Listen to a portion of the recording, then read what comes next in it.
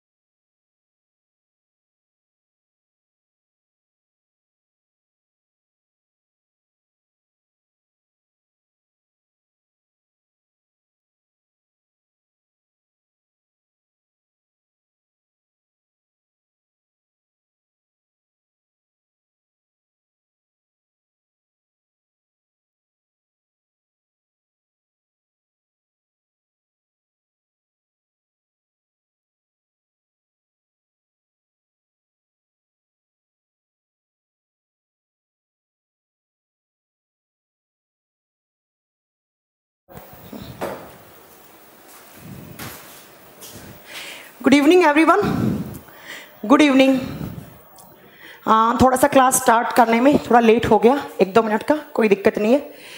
तो good evening कैसे हैं आप सब लोग? और साइंस स्पेशल बैच में आपका केमिस्ट्री की क्लास आज अब पहली क्लास है आपकी तो आप सबका स्वागत है इस chemist science special batch number three में। जिन बच्चों ने आज एडमिशन लिया है या जिन बच्चों ने कल एडमिशन लिया है तो प्लीज़ वो पहले की जितनी भी बायोलॉजी और फिजिक्स की क्लास हुई है, वो सब आप पढ़ लीजिए। और आज आपका केमिस्ट्री का पहला क्लास है तो हम केमिस्ट्री स्टार्ट करने वाले हैं। तो केमिस्ट्री हम बिल्कुल बेसिक टू एडवांस लेवल तक पढ़ेंगे। जो भी हमारे एनटीपीसी के एग्ज़ाम में जितने भी आपके चैप्टर हैं, वो सारे आपको पढ़ाए जाएँगे। जितने भी आपके ग्रुप डी में केमिस्ट्री के चैप्टर आते हैं तो वो भी आपको सारे कुछ पढ़ाए जाएँगे।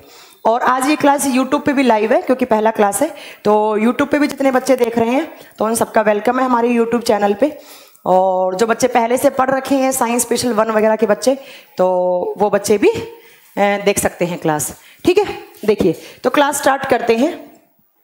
मैंने आपको बताया कि आपके जिन जिन एग्ज़ाम में लिखा हुआ होता है जनरल साइंस जो भी आप एग्ज़ाम दे रहे हैं चाहे वो आप ग्रुप डी का एग्ज़ाम दे रहे हैं चाहे आप वो एनटीपीसी का एग्ज़ाम दे रहे हैं और चाहे आप कोई भी आप एनडीए सीडीएस वगैरह का एग्ज़ाम दे रहे हैं तो वहाँ पर जहाँ पर जनरल साइंस लिखा होता है तो जनरल साइंस में आपको मेनली तीन चैप्टर तीन आ, तीन ब्रांचेस पढ़नी होती है साइंस की। पहला बायोलॉजी और दूसरा आपका फिजिक्स और थर्ड आपका पढ़ना होता है केमिस्ट्री बायोलॉजी की मैं क्लास ऑलरेडी ले चुकी हूँ और फिजिक्स की क्लास भी मैं आपकी ऑलरेडी ले चुकी ऑलरेडी आपको सर पढ़ा रहे अंकुर सर आज आपकी जो क्लास है, वो पहली क्लास है किसकी? तो केमिस्ट्री की। तो भाई हमें केमिस्ट्री में पहला चैप्टर हम स्टार्ट करेंगे। केमिस्ट्री जिसको हिंदी में कहा जाता है रसायन विज्ञान। केमिस्ट्री बड़ा इजी सा एक सब्जेक्ट है। कोई ऐसा नहीं, बहुत सारे बच्चे बोलते हैं, मैं, हमें केमिस्ट्री समझ में नहीं आता। तो मैं आपको बता देती हूँ, जो कॉम्पिटिशन एग्ज़ाम में केमिस्ट्री आता है, वो कुछ अलग ही लेवल का आता है। यहाँ पर आपको इनऑर्गेनिक केमिस्ट्री ज़्यादा पूछा जाता है तो इनऑर्गेनिक केमिस्ट्री इतना ज़्यादा टफ नहीं है, आप बहुत इजीली पढ़ सकते हैं। देखिए केमिस्ट्री रसायन विज्ञान, जैसे आपका बायोलॉजी एक साइंस का ब्रांच है, जैसे आपका फिजिक्स एक साइंस का ब्रांच है, वैसे ही आपका केमिस्ट्री भी एक साइंस का ब्रांच होता है। जैसे हम बायोलॉजी में लिविंग्स के बारे में पढ़ते हैं और फिजिक्स में हम कोई फ़िज़िकल फिनोमिना के बारे में पढ़ते हैं, वैसे हम केमिस्ट्री में क्या पढ़ते हैं? तो मैं आपको बता दूँगी ये जो केमिस्ट्री वर्ड है, वो एक कीमिया वर्ड से लिया गया है। ये जो केमिस्ट्री है, वो सबसे पहले कीमिया वर्ड से आया। कीमिया आप कीमिया की दोनों स्पेलिंग से ही कर सकते हैं सी से भी लिख सकते हैं इसको। सी एच ई एम आई भी लिख सकते हैं, या आप इसको कीमिया के E M I a word भी लिख सकते हैं। स्पेलिंग के कोई मार्क्स नहीं होते कंपटीशन एग्ज़ाम में, दोनों ही वर्ड सही हैं। एक्चुअली ये कीमिया वर्ड का मतलब क्या है? तो इजिप्ट में इजिप्ट में एक नदी बहती थी। पहले जो केमिस्ट्री का बिल्कुल बिल्कुल प्राचीन काल में अगर थ्योरी में जाएँ आपको, हालाँकि थ्योरी से कोई क्वेश्चन नहीं बनता है तो आपको याद करना है कि जो इजिप्ट में ब्लैक कलर की सोइल होती थी ब्लैक कलर की मिट्टी होती थी तो जो काले रंग की जो मिट्टी थी जो नील नदी से मिलती थी मेनली जो नील नदी है जो आपका इजिप्ट में जो नील रिवर है तो इस रिवर के अंदर ब्लैक कलर की मिट्टी मिलती थी। तो ये जो ब्लैक कलर की मिट्टी थी बहुत ज़्यादा मतलब डार्क ब्लैक कलर की डार्क ब्लैक कलर की आ, जो गाढ़े ब्लैक कलर की काले रंग की मिट्टी मिलती थी। तो एक्चुअली इस ब्लैक कलर की जो सॉइल है इसका नाम पहले प्राचीन काल में जो लोगों ने इसका नाम रखा था कीमिया। इस ब्लैक कलर की मिट्टी का नाम रखा था कीमिया।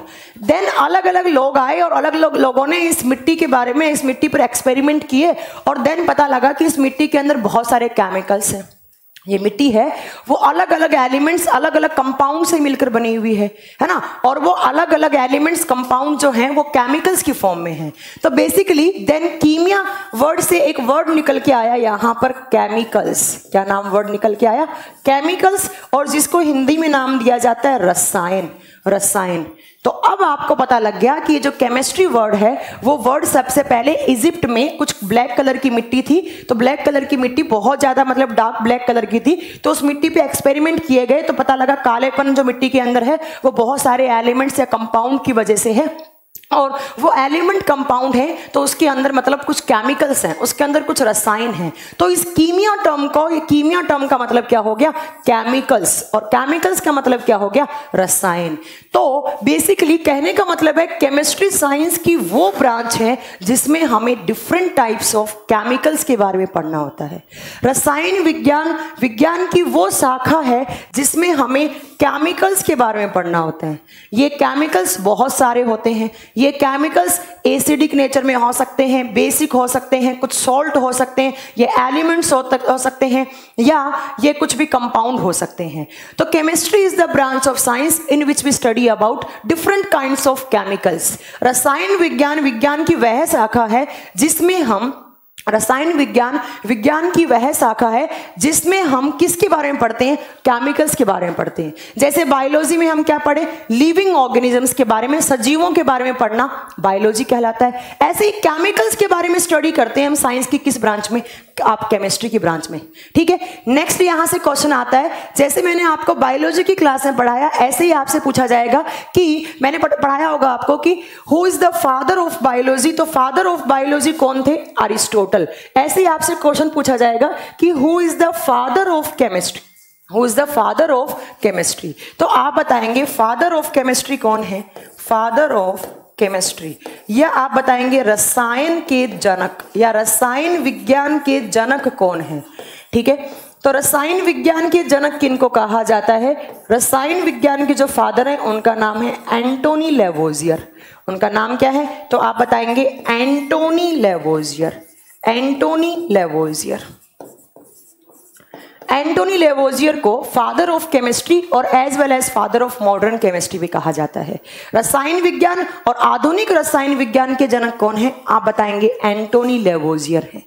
अब बात आती है कि हमने एंटोनी लेवोजियर को फादर ऑफ़ केमिस्ट्री क्यों बोला है? इन्होंने केमिस्ट्री की फ़ील्ड में क्या मेजर काम किया? क्या बड़ा काम किया कि हम इनको फादर ऑफ़ केमिस्ट्री बोलते हैं, रसायन विज्ञान के जनक बोलते हैं? तो देखिए, इन्होंने क्या किया था? सबसे पहला जो आपका हाइड्रोजन और जो आपका ऑक्सीजन एलिमेंट है, हाइड्रोजन और जो ऑक्सीजन एलिमेंट है, इनकी खोज अलग अलग साइंटिस्ट ने की थी। हाइड्रोजन की खोज की थी हेनरी कैवेंडिस नाम के साइंटिस्ट ने। बट कैवेंडिस जी ने खोज कर दी और वो नाम नहीं दे पाए थे हाइड्रोजन को तो वो हाइड्रोजन को नाम दिया था एंटोनी लेवोजियर ने। ऐसे ही ऑक्सीजन जो एलिमेंट है, उसकी खोज की गई थी प्रिस्टले द्वारा। बट प्रिस्टले जी ने ऑक्सीजन का नाम नहीं दिया था। तो जो हाइड्रोजन ऑक्सीजन नाम है, जो वर्ड है, वो was given by Antoine Lavoisier तो लेवोसियर जी ने एक तो बड़ा काम क्या किया? हाइड्रोजन और ऑक्सीजन एलिमेंट्स के नाम दिए थे। दूसरा, इन्होंने बताया था कम्बस्टन थ्योरी के बारे में। इन्होंने केमिस्ट्री में कम्बस्टन थ्योरी के बारे में पढ़ाया था।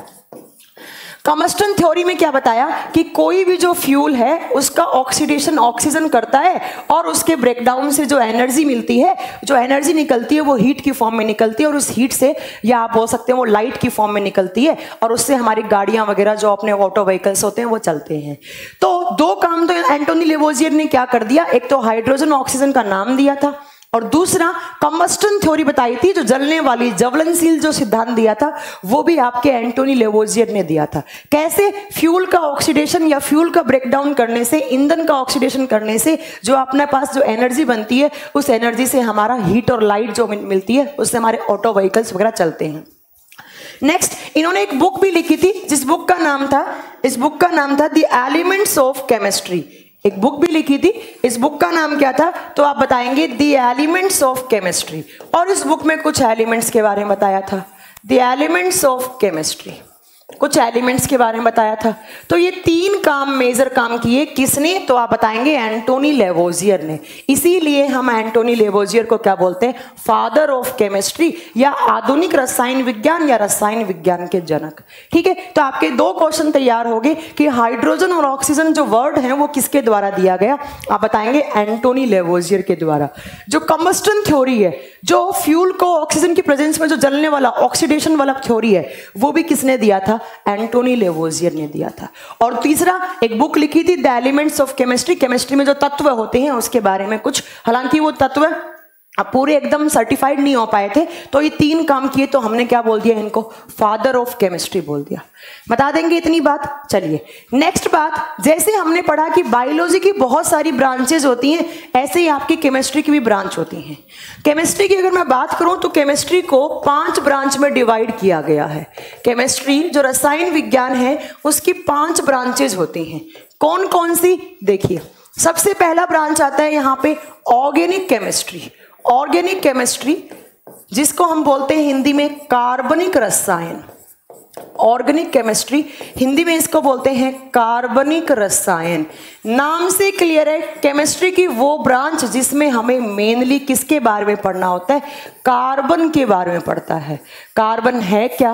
कार्बन के कौन कौन से एलोट्रॉप्स होते हैं?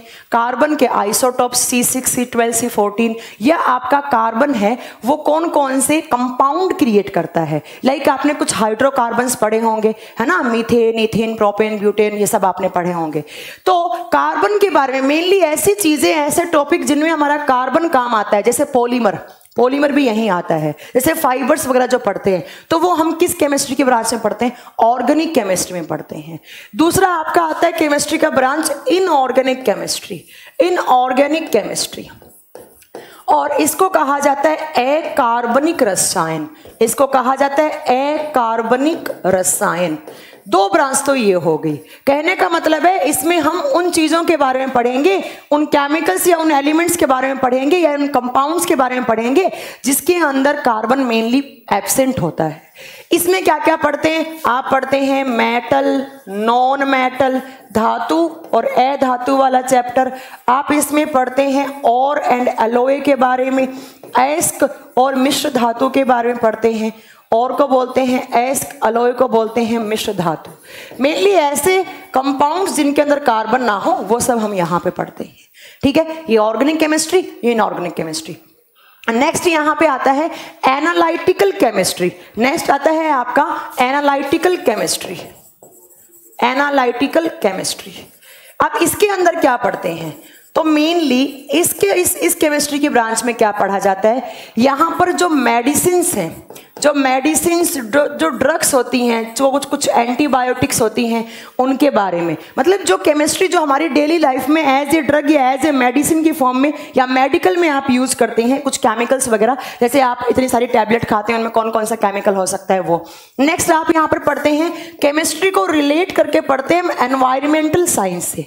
ईवीएस एनवायरमेंटल साइंस के साथ रिलेट करके हम केमिस्ट्री को पढ़ते हैं एनालिटिक केमिस्ट्री में।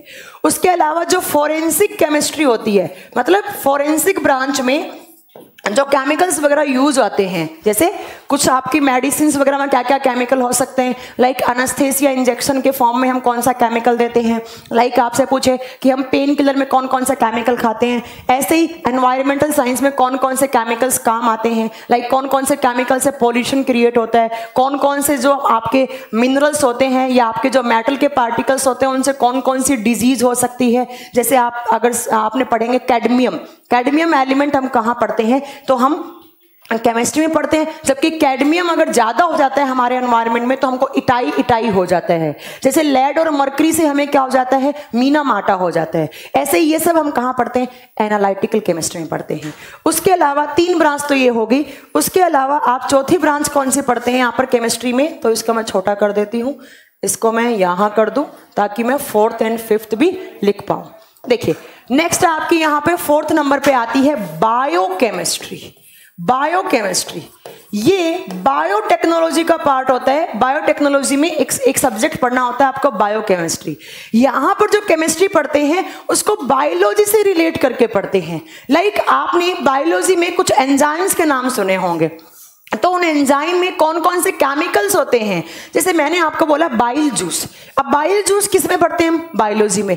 बट बाइल जूस में कौन कौन से मिनरल्स होते हैं कौन कौन सी मेटल्स जो मिनरल की फॉर्म में होती हैं? जैसे सोडियम होता है है ना हमारे बॉडी में? तो वो सोडियम कहाँ होता है? तो सोडियम किसमें पढ़ते हैं हम? केमिस्ट्री में। तो यहाँ पर जो हम साइंस पढ़ते हैं बायोकेमिस्ट्री में, वो केमिस्ट्री को रिलेट करते हैं हम बायोलॉजी के साथ। तो ये ब्रांच आती है आपकी बायोकेमिस्ट्री वाली। इसमें जो जेनेटिक्स होती है, जो हम बायोलॉजी में जेनेटिक्स पढ़ते हैं उसको भी हम, उसको भी हम रिलेट करके पढ़ते हैं किसके साथ? केमिस्ट्री के साथ। ऐसे ही एंजाइमोलॉजी जो एंजाइम्स के बारे में पढ़ते हैं, वो सब कुछ हम यहाँ पढ़ते हैं।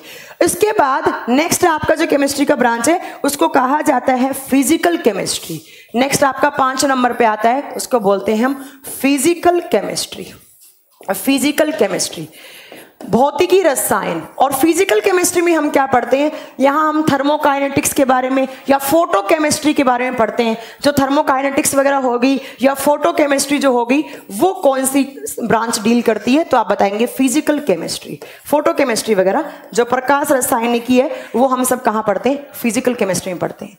ठीक है? तो कहने का मतलब हो गया मैम बायोलॉजी की कितनी ब्रांच होती है? पाँच ब्रांच होती हैं। कौन कौन सी? मैं एक बार फिर रिपीट करती हूँ। ऑर्गेनिक केमिस्ट्री जिसमें हम कार्बन वाली चीज़ें पढ़ते हैं, दूसरा हम पढ़ते हैं इनऑर्गेनिक केमिस्ट्री इनऑर्गेनिक केमिस्ट्री में हम क्या पढ़ते हैं? अकार्बनिक रसायन. कहने का मतलब है, जिसमें कार्बन को छोड़कर जितने और बाकी के जो कंपाउंड्स आते हैं, वो सब हम कहाँ पढ़ते हैं? इनऑर्गेनिक केमिस्ट्री में लाइक मेटल नॉन मेटल वाला चैप्टर और मिनरल वाला चैप्टर हो गया ये सब. एनालिटिकल केमिस्ट्री में जो हमारा मेडिकल मेडिकल में जो केमिकल्स यूज़ आते हैं ड्रग्स वगैरह एंटीबायोटिक्स वगैरह पेन किलर बनाने में कौन कौन से केमिकल होते हैं, वो सब पढ़ते हैं। Plus environment science environmental science में केमिस्ट्री को रिलेट करके पढ़ते हैं, ठीक है? और फॉरेंसिक साइंस में भी ये काम आता है। जैसे डीएनए फिंगरप्रिंटिंग में कौन कौन से केमिकल काम आते हैं तो वो यहाँ आ जाएगा। उसके अलावा बायोकेमिस्ट्री जितने भी बायोलॉजी में हम चीज़ें पढ़ते हैं, उनको केमिस्ट्री के साथ रिलेट करना बायोकेमिस्ट्री कहलाता है। फ़िज़िकल केमिस्ट्री फोटोकाइनेटिक्स जो काइनेटिक्स हो गया, और प्लस आप बताएँगे फ़ोटो केमिकल फ़ोटो केमिस्ट्री जो होती है, वो भी इसके अंदर पढ़ी जाती है। अब अगर मैं बात करूँ मेन ब्रांच कौन कौन सी होती है तो आप बताएँगे केमिस्ट्री की दो मेन ब्रांच होती है। Number one is organic chemistry and number two is inorganic chemistry अब मैं एक बात आपको क्लियर कर दूँ, जितने भी जितने भी एग्ज़ाम हैं आपके वनडे कंपटीशन एग्ज़ाम होते हैं, उनमें ज़्यादा पूछा जाता है इनऑर्गेनिक केमिस्ट्री अकार्बनिक रसायन। हमें मान के चलो 70 से 80 परसेंट इनऑर्गेनिक केमिस्ट्री पढ़नी है और 20 परसेंट में मान के चलो हमें ऑर्गेनिक केमिस्ट्री में। बाकी दो चार दो चार परसेंट में ये कुछ बायोकेमिस्ट्री के पार्ट्स भी पढ़ने हैं हमें और कुछ हमें एनालिटिकल केमिस्ट्री के पार्ट पढ़ने हैं। ये वाला जो पार्ट होता है वो वैसे भी आपका फिजिक्स में कवर हो जाता है। सर अंकुर सर आपका कवर कर रहे हैं वैसे भी। ठीक है? तो हमें कौन सा पढ़ना है? इनऑर्गेनिक केमिस्ट्री के बारे में ज़्यादा पढ़ना है। अब बात आती है इनऑर्गेनिक केमिस्ट्री में। मैं आपका सबसे पहला बेसिक चैप्टर स्टार्ट कर रही हूँ, जिसको बोला जाता है। आपका सबसे पहला चैप्टर आपको क्रिएटिव में भी नीचे बना हुआ लिखा दिख रहा होगा कि आज किसकी क्लास है तो आज केमिकल कंपाउंड्स की क्लास है। आज किसकी क्लास है तो आप बताएँगे केमिकल कंपाउंड्स की क्लास है। केमिकल कंपाउंड रासायनिक यौगिक, हिंदी में क्या बोलेंगे हम? रासायनिक यौगिक। रासायनिक यौगिक। जितने भी हमारे केमिस्ट्री में कंपाउंड्स जो केमिकल कंपाउंड्स काम आते हैं वो हमें पढ़ना है। बड़ा ही ज़्यादा वेटेज वाला चैप्टर है। अगर ध्यान से पेशेंस के साथ सुनेंगे तो सब कुछ चीज़ें आपको क्लियर होंगी मैं आपको साथ साथ में ये भी बताऊँगी कि इस, किस एग्ज़ाम में कैसा क्वेश्चन पूछा भी गया था। चाहे वो मैं रेलवे की बात करूँ यहाँ पर, चाहे मैं वो ग्रुप डी की बात करूँ, चाहे मैं यहाँ पर एनटीपीसी की बात करूँ, चाहे मैं सीजीएल की बात करूँ, मैं सारा का सारा आपके क्वेश्चन भी बताती जाऊँगी। और मैंने आपको जैसे ही पहले प्रॉमिस किया है, वैसे मैं आपको बता रही हूँ कि जैसे जैसे चैप्टर खत्म होंगे, मैं उनके एमसीक्यू भी इस बैच में डिस्कस करूँगी आपसे। पहले दिन मैं आपको एमसीक्यू दूँगी। अगर आपसे हो जाते हैं तो ठीक है अदरवाइज़ आप नेक्स्ट क्लास में आप मुझसे पूछ सकते हैं। ठीक है? देखिए, जितने भी केमिकल कंपाउंड्स होते हैं, उनको हम मेनली तीन ग्रुप में डिवाइड करते हैं। कौन कौन से? नंबर वन पे आते हैं एसिड और एसिड जिसको हिंदी में अम्ल कहा जाता है, अम्ल। ध्यान से एक एक चीज़ें पढ़नी है आपको। बेसिक से स्टार्ट करूँगी, मैं आपको पूरी थ्योरी सारा कुछ पढ़ाऊँगी। आर एन ने क्या क्या लो दिया था, या ब्रॉन्स्टेड जी ने क्या बताया था, सारा कुछ। ठीक है? कुछ बच्चे कह रहे हैं अच्छा पेज को एक बार रिफ्रेश कर लीजिए, अगर जिस बच्चे को क्लास नहीं दिख रही है तो प्लीज़ अपने पेज को रिफ्रेश कर ले तो क्लास दिख जाएगी। और यूट्यूब पे तो वैसे भी आप सब देख ही रहे हैं। मैम बैच का ड्यूरेशन क्या है? तो एनटीपीसी के एग्ज़ाम से पहले पहले आपको सिलेबस कवर करवा दिया जाएगा। ठीक है? चलिए। चलिए। एक बच्चा पूछ रहा है, ma'am why we need to read chemistry बेटा, हर जगह केमिस्ट्री है। अगर आप कुछ खाना खाते हैं तो उसके अंदर भी केमिकल्स हैं, उसके अंदर भी एलिमेंट्स हैं तो वो भी आप केमिस्ट्री हैं। अगर मैंने ये मार्कर यूज़ किया है तो ये मार्कर भी किससे मिलकर बना हुआ है? एलिमेंट्स या केमिकल्स या कोई भी तत्व से मिलकर बना हुआ है केमिस्ट्री है। मैंने जो कपड़े पहन रखे हैं, उसके अंदर केमिस्ट्री है। मेरे बालों के अंदर केमिस्ट्री है। तो हमें केमिस्ट्री पढ़नी ही पड़ेगी। एक बच्चा पूछ रहे हम कैसे मतलब केमिस्ट्री पढ़ने की रिक्वायरमेंट क्या पड़ी? तो बेटा केमिस्ट्री पढ़ने की रिक्वायरमेंट है, क्योंकि हर जगह केमिस्ट्री है। हम रह रहे हैं, वहाँ केमिस्ट्री है। मेरे आसपास एनवायरमेंट में गैसेस हैं। गैसेस कहाँ पढ़ते हैं हम? केमिस्ट्री में पढ़ते हैं। हमारे बॉडी में गैसेस हैं। तो गैसेस कहाँ पढ़ते हैं हम? केमिस्ट्री में पढ़ रहे हैं। और कुछ भी आपने सोना चांदी, मैंने ज्वेलरी पहन रखी है सोना चांदी। क्या है? गोल्ड सिल्वर केमिस्ट्री है। हर जगह केमिस्ट्री है। हर चीज़ में केमिस्ट्री है। कहीं भी देखो केमिस्ट्री केमिस्ट्री केमिस्ट्री मिलेगी आपको। इसलिए केमिस्ट्री पढ़ना है। ठीक है? किसने पूछा मुझसे ये बात? मैंने आपका जवाब शायद आई थिंक अच्छा जवाब दिया है। ठीक है? चलिए आप पढ़ते हैं।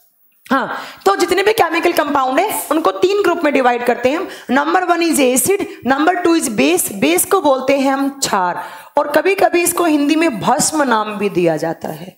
ठीक है? दूसरा, तीसरा यहाँ पर आता है सॉल्ट सॉल्ट जिसको आप लवण या नमक का नाम देते हैं।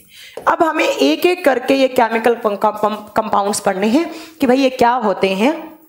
ये आइसोटोन्स क्या होते हैं? आइसो बार क्या होते हैं? मैं सब पढ़ाऊँगी डोंट वरी हाँ सी सीटेट में भी काम आएगा। केमिस्ट्री साइंस हमेशा कॉमन होता है। चाहे वो फिजिक्स हो, चाहे वो केमिस्ट्री हो, चाहे वो बायोलॉजी हो। बट होता क्या है? सिर्फ़ लेवल का डिफरेंस हो जाता है। ठीक है? है ना? तो केमिस्ट्री सारा कॉमन है बायोलॉजी भी कॉमन होता है फिजिक्स भी कॉमन होता है वो तो लेवल का डिफरेंस हो जाता है कि कौन सी ब्रांच का कहाँ पर हमें किस एग्ज़ाम में कौन सी ब्रांच कितनी पूछी जाती है। राइट चलिए आइसोबार्स क्या होते हैं बेटा? मैं बता, बता देती हूँ वैसे तो आपको समझ में आता है तो elements that are having same atomic number but different atomic mass are known as isobar किसी बच्चे ने मुझसे पूछा है तो मैंने आपको बता दिया है। आइसोबार समस्थानिक होते हैं ठीक है? और सॉरी आइसोटोप पूछा है ना आपने? हाँ आइसोटोप आइसोटोप्स क्या होते? हैं आइसोटोप होते हैं जिनके atomic number same atomic mass difference हो, वो क्या होते? हैं डिफरेंट हो, उनको बोलते हैं आइसोटोप आइसोटोप अगर आपने आइसोटोप पूछा है तो मैं बता देती हूँ आपको, जिनके एटॉमिक नंबर सेम होते हैं एटॉमिक मास डिफरेंस होते हैं डिफरेंट होते हैं, उनको हम क्या बोलते हैं? उनको हम आइसोटोप बोलते हैं। और आइसो बार इसका डिफरेंट होता है। इसका जस्ट ऑपोजिट होता है आइसो बार ठीक है? चलिए। चलिए देखिए। अब देखिए पहले मैं आपको पढ़ाऊँगी एसिड्स क्या होते हैं बेस क्या होता है और बाद में हम चलेंगे सॉल्ट वाले चैप्टर पे। ठीक है? बाद में हम चलेंगे सॉल्ट वाले चैप्टर पे। अब मैं आपको बता दूँ कि इस चैप्टर से हमारे पास क्वेश्चंस कैसे आते हैं एग्ज़ाम में? कितने टाइप के यहाँ से क्वेश्चन बनते हैं? मेनली यहाँ पर पाँच टाइप के क्वेश्चन बनते हैं इस चैप्टर में। ठीक है? मेनली आपके पाँच यहाँ पर आ, मतलब क्वेश्चंस बनते हैं। पहला एसिड बेस में पीएच वैल्यू से क्वेश्चन आते हैं कि भाई किसका कितना पीएच है? जैसे आपने इस बार अगर आरआरबी जेई का एग्ज़ाम दिया हो तो एक क्वेश्चन बहुत बार रिपीट हुआ था कि ह्यूमन यूरिन का पीएच कितना है? ह्यूमन सलाइवा का पीएच कितना है? ये कुछ क्वेश्चन आते हैं। ऐसे ही आपसे पूछा जाता है, दूसरा क्वेश्चन किसमें कौन सा एसिड या किसमें कौन सा बेस या किसमें कौन सा सॉल्ट पाया जाता है? थर्ड आपसे पूछते हैं, इन एसिड बेस सॉल्ट के यूजेस क्या होते हैं? फोर्थ इन एसिड बेस को पहचानने के लिए कुछ तरीके दिए गए थे। अलग अलग साइंटिस्ट ने अलग अलग टाइम पर अपनी थ्योरी बताई थी तो वो हमें पढ़नी है कि आर एन एस जी ने क्या थ्योरी दी थी, ऐसे ब्रॉन्स्टेंड लोरी ने क्या थ्योरी दी थी लेविस जी ने क्या थ्योरी दी थी, ये सब हमें पढ़ना है। ठीक है? उसके बाद कुछ क्वेश्चन आते हैं एसिड्स कितने टाइप के होते हैं? बेस कितने टाइप के होते हैं? एसिडिटी क्या होता है? या बेसिसिटी क्या होता है? ये कुछ क्वेश्चन है यहाँ से कॉमन जो चलते हैं। ठीक है? सबसे पहले हमने यहाँ पर लिख दिया, एक साइड मैंने लिख दिया एसिड और दूसरी साइड मैंने लिख दिया बेस हमें बिल्कुल बेसिक से स्टार्ट करना है, क्योंकि कुछ बच्चे ऐसे हैं जो साइंस बैकग्राउंड से नहीं है। उनको हो सकता है स्टार्टिंग का पाँच सात मिनट उनको बोरिंग लगे, उसके बाद उनको भी नहीं आता होगा। ठीक है? एसिड अम्ल और बेस को बोलते हैं हम क्षार। सबसे पहले मैं आपको बताऊँ जो ये एसिड टर्म है, ये टर्म कहाँ से आया है? तो ये टर्म आया है एसिडस वर्ड से। इस टर्म आया है एसिडस वर्ड से। और एसिडस टर्म का मतलब होता है सौर। और सोर का मतलब होता है खट्टा। सबसे बेसिक सबसे प्राइमरी डेफिनेशन दूँ अगर मैं तो आप बोलोगे, कोई भी ऐसा केमिकल कंपाउंड कोई भी ऐसा रासायनिक यौगिक, जिसका जब आप टेस्ट करोगे, जब आप उसको चखोगे तो उसका चखने पे टेस्ट कैसा आएगा? सौर आएगा, खट्टा आएगा। उसको हम क्या बोलेंगे? एसिड बोलेंगे। ये कोई डेफिनेशन नहीं है बट एक तरीका है। अगर बहुत जल्दी में और कोई आपको चेक करना हो कि कोई केमिकल कंपाउंड क्या है एसिडिक है या बेसिक है। ठीक है? दूसरा, ये जो बेस है बेस कोई भी ऐसा केमिकल कंपाउंड कोई भी ऐसा रासायनिक यौगिक जो चखने पर आपको बिटर लगे, जो चखने पर आपको कड़वे लगे बिटर लगे, उसको हम बेस का नाम देते हैं। उसको हम बेस का नाम देते हैं। ठीक है? आप जैसे आप नहाने का साबुन या कपड़े धोने का साबुन लो आप। क्या उसको आप चख सकते हो? चखने पे कितना कड़वा लगेगा आपको? है ना? आपको वॉमिटिंग जैसा लगेगा। क्योंकि वो किस नेचर में होते हैं? वो बेसिक नेचर में होते हैं। ठीक है? सबसे पहला आपसे पूछ ले टेस्ट करने में खट्टे कौन लगते हैं? कौन से केमिकल कंपाउंड एसिड और बिटर कौन से लगते हैं? बेस लगते हैं। हालाँकि ऐसे क्वेश्चन कभी भी एग्ज़ाम में आते नहीं है। ठीक है? उसके बाद देखो दूसरा। दूसरा यहाँ पे डेफिनेशन क्या होती है? ध्यान से सुनिएगा दूसरे पॉइंट को। एसिड्स किसको बोलते हैं? ऐसे केमिकल्स जिनका पीएच वैल्यू ऐसे केमिकल्स जिनका pH value less than seven हो। जिनका पीएच वैल्यू कितना हो? लेस देन सेवन हो। जिनके पीएच का मान सात से कम हो, सात से कम, मैंने सात नहीं बोला है, सात से कम हो, उनको हम एसिड बोलते हैं। और दूसरा, बेस किसको बोलेंगे? ऐसे केमिकल कंपाउंड, ऐसे केमिकल कंपाउंड जिनको, जिन, जिनका पीएच वैल्यू कितना हो, जिनका pH value more than seven, more than कितना सेवन, बट बट लगाना है आपको, बट लेस देन फोर्टीन मतलब लेस देन फोर्टीन कहने का मतलब है कोई भी ऐसा केमिकल कंपाउंड जिसका पीएच वैल्यू सात से कम हो, वो हमेशा एसिडस होते हैं, वो हमेशा एसिडिक मीडियम में होते हैं। और जो सात से अधिक हो, उसको हम मोर देन सेवन वाले को बोलते हैं बिटर वाले। बिटर मतलब जो बेस हो। अब कुछ बच्चे सोच रहे होंगे कि ये पीएच क्या होता है, जो हमने नाम पहली बार सुना। देखो, पीएच की फुल फॉर्म क्या होती है? इसको बोलते हैं पावर ऑफ़ हाइड्रोजन या पोटेंजा ऑफ़ हाइड्रोजन या पोटेंशियल ऑफ़ हाइड्रोजन। तीन फुल फॉर्म होती है पीएच की, ध्यान से सुनिएगा। पावर ऑफ़ हाइड्रोजन, हिंदी में बोलते हैं हाइड्रोजन आयन की शक्ति, पावर। दूसरा, पोटेंजा ऑफ़ हाइड्रोजन। तीसरा, पोटेंशियल ऑफ़ हाइड्रोजन। पीएच का मतलब होता है किसी भी केमिकल कंपाउंड में किसी भी केमिकल कंपाउंड में आयंस आयंस का आयंस को देखा जाता है कि हाइड्रोजन आयन है या ओएच नेगेटिव आयन है तो उसके लिए एक स्केल यूज़ में लिया जाता है यहाँ पर। ये जो पीएच है, उसका फुल फॉर्म मैं आगे आपको पीएच निकालना भी सिखाऊँगी। अभी आपको याद करना है कि पीएच का फुल फॉर्म क्या होता है। पर्टिकुलर किसी भी कंपाउंड के अंदर कितना हाइड्रोजन आयन है या कितना हाइड्रोक्साइड आयन है हाइड्रोक्सिल आयन है, उनको ज्ञात करने का एक सरल सा तरीका है जिसको कहा जाता है पीएच वैल्यू या पीएच स्केल। देखिए, कैसे एक सोरेंसन नाम के साइंटिस्ट थे, एक सोरेंसन नाम के साइंटिस्ट थे, उन्होंने आप लिखेंगे सोरेंसन सोरेंसन नाम के साइंटिस्ट जी ने सबसे पहले पीएच स्केल के बारे में बताया। सोरेंसन नाम के साइंटिस्ट जी ने सबसे पहले इन 1913 में 1930 1913 1913 में हम्म सोरेंसन नाम के साइंटिस्ट जी ने 1913 में एक स्केल दिया, जिस स्केल को हम नाम देते हैं पी एच स्केल जिसको नाम देते हैं हम पी एच स्केल ध्यान से सुनिएगा, यहाँ से आपके बहुत सारा कॉन्सेप्ट क्लियर होने वाला है।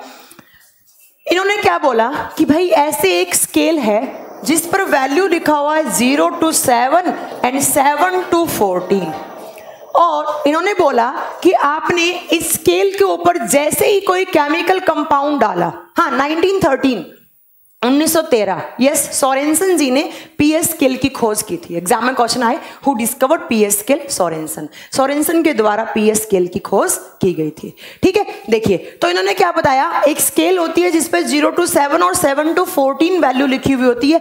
इसके ऊपर आपने कोई भी केमिकल कंपाउंड डाला, जैसे आपने केमिकल कंपाउंड डाला तो केमिकल कंपाउंड डालते ही अगर आपका रेंज आता है ज़ीरो टू सेवन तो हम बोल देंगे कि वो केमिकल कंपाउंड किस नेचर में है? तो हम बोलेंगे वो एसिडिक नेचर में है। किस नेचर में है वो? एसिडिक या अम्लीय प्रवृत्ति का कंपाउंड है।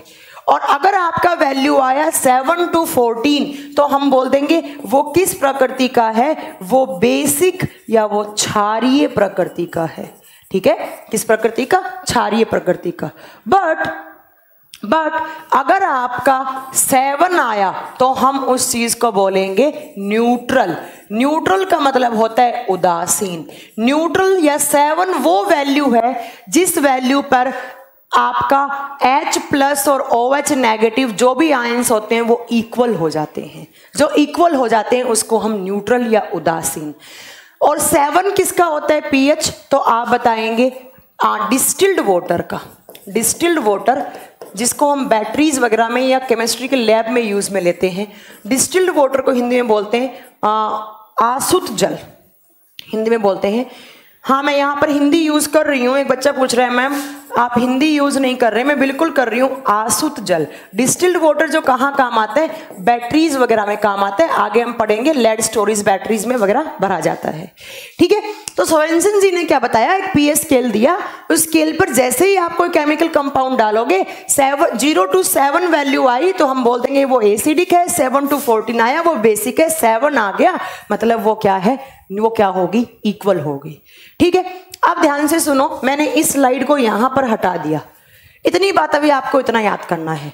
अब नेक्स्ट देखो, आपको क्या पॉइंट याद रखना है। नेक्स्ट एसिड क्या होते हैं? ध्यान से सुनिएगा ये वाला पॉइंट एसिड क्या होते हैं और बेस क्या होते हैं? अम्ल क्या होते हैं और क्षार क्या होते हैं? अम्ल किसको बोलते हैं? ऐसा कोई केमिकल कंपाउंड जब उसको पानी में डालोगे तो पानी में वो जो H प्लस आयंस रिलीज़ करें। H प्लस आयन जिससे निकलने लग जाए, धड़ाधड़ धड़ाधड़ धड़ाधड़, बहुत ज़्यादा जिसके आपके H प्लस आयन रिलीज़ करना लग जाए। उसको बोलते हैं हम एसिड तो मैंने यहाँ पर लिखा कि एसिड वो है एसिड वो है जो जो पानी में पानी में, मैं फिर रिपीट कर रही हूँ, पानी में कौन से आयन दे? H प्लस आयंस दें। तो कहने का मतलब है एसिड या केमिकल कंपाउंड जो पानी के अंदर हाइड्रोजन आयन रिलीज़ करें। H क्या होता है? हाइड्रोजन तो हाइड्रोजन आयन रिलीज़ करने लग जाएँगे तो तुरंत हम क्या बोल देंगे कि भाई ये तो क्या है एक, वो तो एक केमिकल कंपाउंड है जिसका नेचर क्या है? एसिडिक है। इसका नेचर क्या है? एसिडिक है। ठीक है? दूसरा बेस क्या होते हैं? अच्छा इसकी मैं अगर रिएक्शन बनाऊँगी तो आप कैसे लिखेंगे इसको? Acid plus water acid plus water जब एसिड को हमने पानी के साथ डाला तो वो क्या देता है? तो आप बताओगे एसिड को पानी के साथ देला, डाला तो वो कौन से आयन रिलीज़ करते हैं? H प्लस आयन्स रिलीज़ करता है। या आप बोल सकते हैं एसिड वो होते हैं जब उनको पानी में डालते हैं तो वो H3O प्लस आयंस रिलीज़ करें। हाइड्रोनियम H3O प्लस को क्या कहा जाता है? हाइड्रोनियम आयन एसिड वो होते हैं जब आप उनको एक्वस में डालेंगे। एक्वस का मतलब होता है पानी में डालेंगे। ठीक है? तो पानी में डालेंगे तो जैसे ही पानी में डालेंगे तो वो हाइड्रोनियम आयन H3O प्लस या H प्लस आयन रिलीज़ करेंगे। उस केमिकल कंपाउंड को हम नाम देंगे एसिड अब आइए बेस पर। बेस यानी क्षार किसको बोलेंगे या भस्म किसको बोलेंगे? बेस क्या है? बेस वो केमिकल कंपाउंड है, क्षार वो है बेस वो है, जो वोटर में, जो पानी में कैसे आयंस दे? पानी में O H negative ions release करें। ओ एच नेगेटिव आयन को क्या बोलते हैं हम? हाइड्रोक्सिल आयन दें। तो एक डेफिनेशन आपकी क्या हो गई कि एसिड्स उनको बोलेंगे जो पानी में H प्लस आयंस दें एक्वस सॉल्यूशन में एक्वस मतलब पानी, जलीय में। उसमें H प्लस आयन दें और बेस क्या है? जो पानी के अंदर OH नेगेटिव आयंस रिलीज़ करें। या H प्लस आयन या हाइड्रोनियम आयन ये वाला कॉन्सेप्ट मैं आगे क्लियर करूँगी। अभी आप बस थोड़ा ध्यान रखिए। ठीक है? अब आप बोलो, मैम, हमें तो कोई एग्ज़ाम्पल दो। तो लीजिए, मैं आपको एग्ज़ाम्पल देती हूँ उनका एक, दो। पहला मैं आपको एग्ज़ाम्पल देती हूँ एसिड का। आप सबने पढ़ रखा है एच सी एल क्या होता है ये? हाइड्रोक्लोरिक एसिड होता है। और जब इस हाइड्रोक्लोरिक एसिड को आप पानी में डालोगे, आप इसको जैसे ही पानी में डालोगे हाइड्रोक्लोरिक एसिड को तो ये पानी में डालते ही क्या रिलीज़ करेगा? मैम ये H प्लस हम्म अब देखिए। HCl को जैसे ही आपने पानी में डाल दिया, पानी में डालते ही क्या रिलीज़ करने लग जाएगा? मैम ये H प्लस और Cl नेगेटिव में टूटकर H प्लस आइंस रिलीज़ कर देगा। और H प्लस आइंस रिलीज़ करने वाले को क्या बोलते हैं? आप बोलेंगे एसिड्स है ना? Chemical compounds which release hydrogen ion in aqueous solution are known as acid.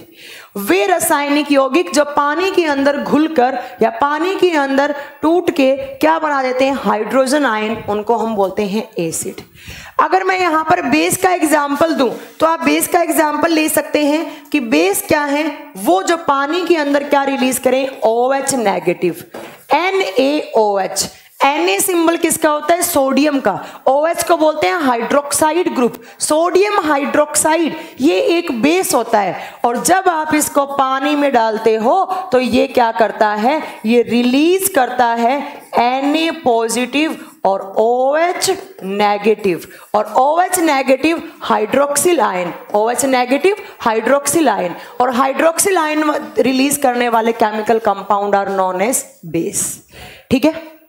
हो गया? हाँ हाइड्रोजन पॉजिटिव आयन बिल्कुल आपने सही बोला संदीप गौर। तो बेस कौन से होंगे? Which compound that can release O H negative ions in aqua solution या इन वोटर ठीक है, पानी के अंदर जो O H negative ion release करे। अब ये बात आपको क्लियर होगी कि जो हाइड्रो जो हाइड्रोक्स जो हाइ हाइड्रोजन या हाइड्रोनियम आयन दे, वो एसिड और ओ एच नेगेटिव दे, वो बेस अब आप आइए वापस इस स्लाइड पे। इस वाली स्लाइड पे जो मैंने आपको इससे पीछे पढ़ाई थी, ये वाली। इसको मैंने सेव किया था। सेव क्यों किया? क्योंकि यहाँ से अब हमें बहुत सारे कॉन्सेप्ट क्लियर करने हैं। मैंने आपको एक लाइन बताई अभी कि एसिड क्या देते हैं? H प्लस तो कहने का मतलब क्या है मैम अगर ज़ीरो टू सेवन अगर किसी भी केमिकल कंपाउंड की पीएच वैल्यू आ रही है तो उसके अंदर कौन से आयंस होंगे? या तो H प्लस या H3O plus H plus hydrogen ion H3O plus hydronium ion zero to seven pH value और आयंस कौन से? हाइड्रोजन या हाइड्रोनियम आयन और सेवन टू फोर्टीन आ रहा है तो उसके अंदर कौन से आयन होने चाहिए? ओ एच नेगेटिव बात समझ में आ गई? आ गई ma'am less than seven acidic more than seven but less than fourteen basic nature ठीक है? अब देखो नेक्स्ट जैसे जैसे किसी भी केमिकल कंपाउंड जो एसिडिक नेचर में हो जैसे जैसे पीएच वैल्यू घटती जाती हैं जैसे जैसे पीएच वैल्यू घटती जाती हैं वैसे वैसे वैसे वैसे आपका कोई भी केमिकल कंपाउंड जो एसिडिक नेचर में है, वो स्ट्रॉन्ग हो जाता है। एसिड्स की पीएच वैल्यू डिक्रीज होने पर एसिड स्ट्रॉन्ग होते हैं, जबकि बेस की पीएच वैल्यू इंक्रीज होने पर बेस क्या होते हैं? स्ट्रॉन्ग होते हैं। मैं क्या कहना चाह रही हूँ? थोड़ा सा ध्यान से सुनिए। मैंने कहा, ऐसे एसिड्स जिनकी पीएच वैल्यू ज़ीरो या नियर बाई ज़ीरो मतलब वन टू थ्री आ रहा है मतलब पीएच कम हो रही है। पीएच कम हो रही है, इसका मतलब उसके अंदर हाइड्रोजन आयन बहुत ज़्यादा है। पीएच कम हो रही है। उसका मतलब उसके अंदर हाइड्रोजन या हाइड्रोनियम आयन बहुत ज़्यादा लार्ज अमाउंट में रिलीज़ हो रहे हैं। और लार्ज अमाउंट में कब रिलीज़ होंगे? जब वो कंप्लीटली डिसएसोसिएट हो जाएगा। वो कंप्लीटली पानी के अंदर डिजोल्व हो जाएगा।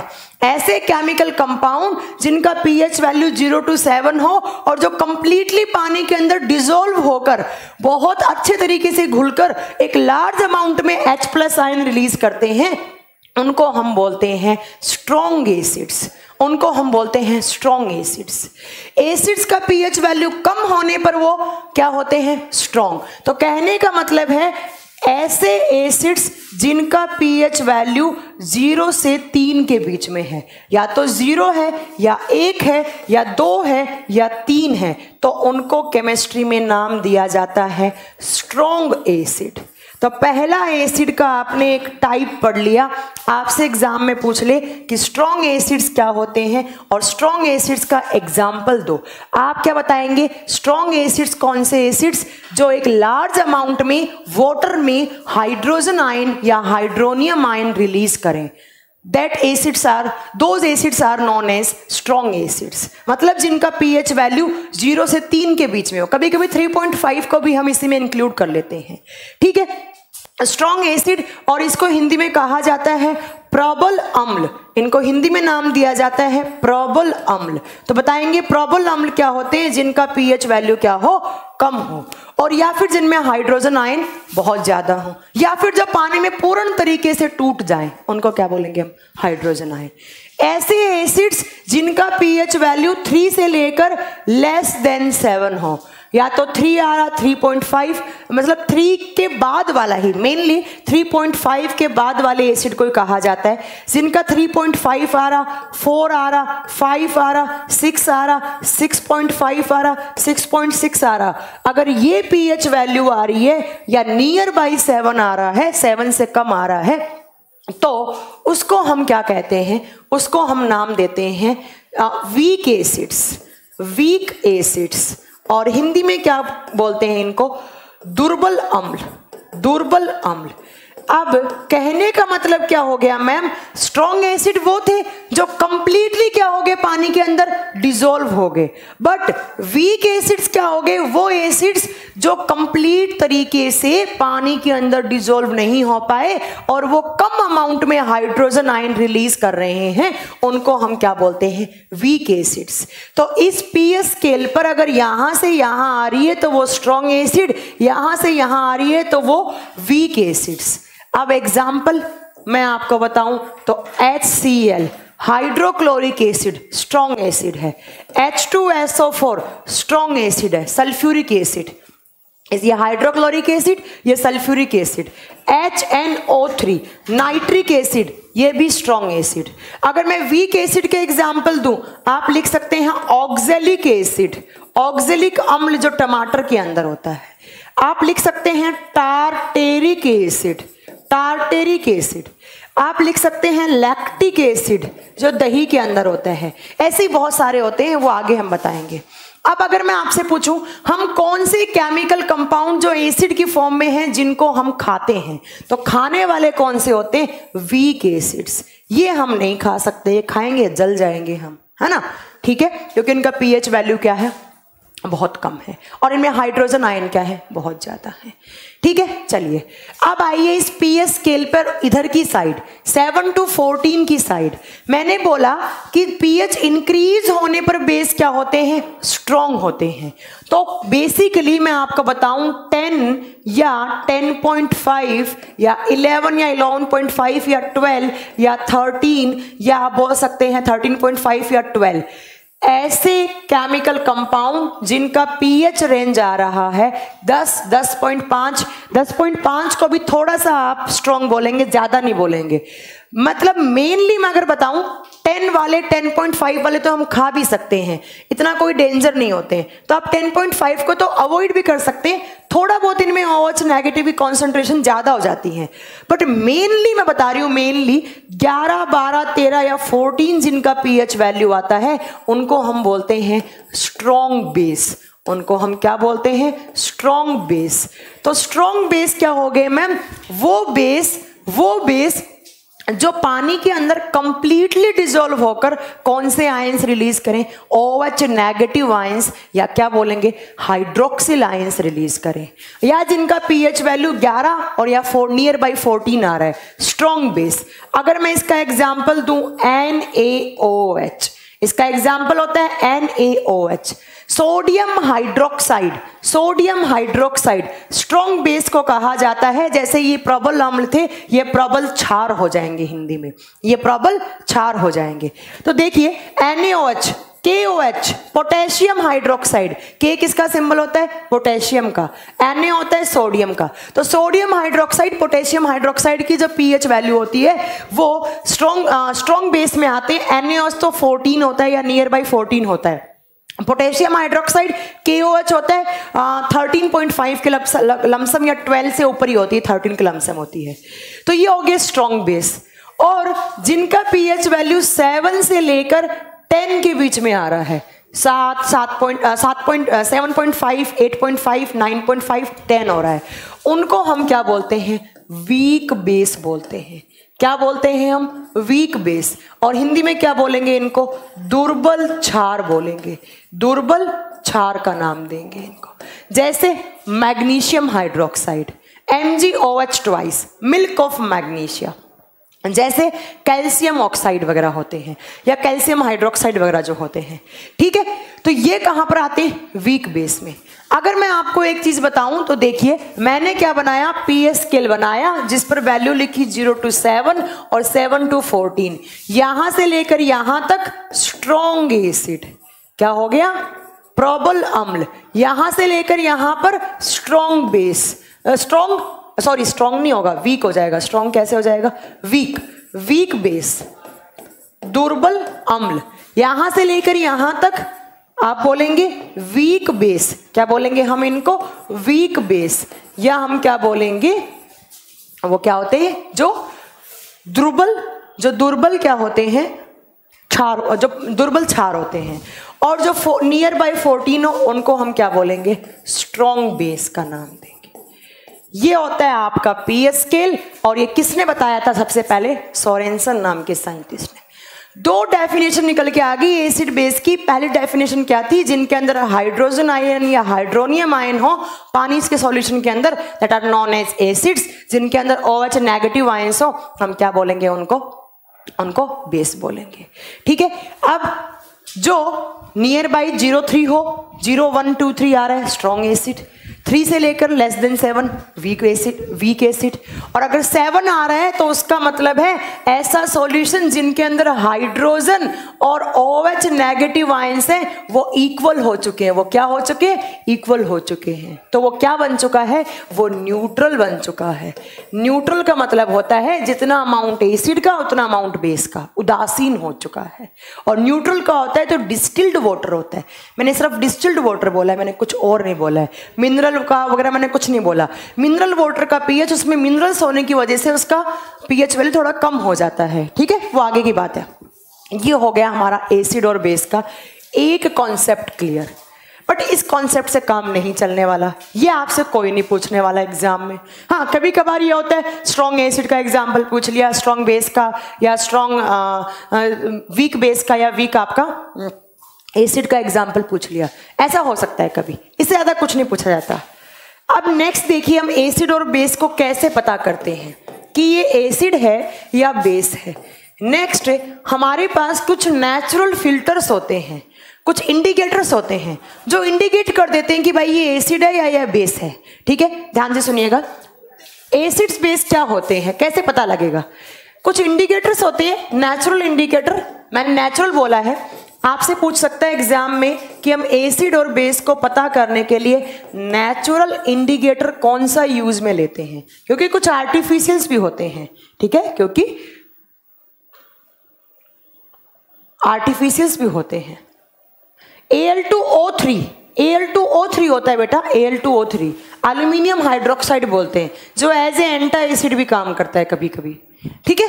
देखिए, हिंदी में बोलेंगे इनको प्राकृतिक सूचक। जो नेचुरल फॉर्म में पाए जाते हैं, सूचक। कौन से? तो आप बताएँगे लिटमस पेपर कौन से?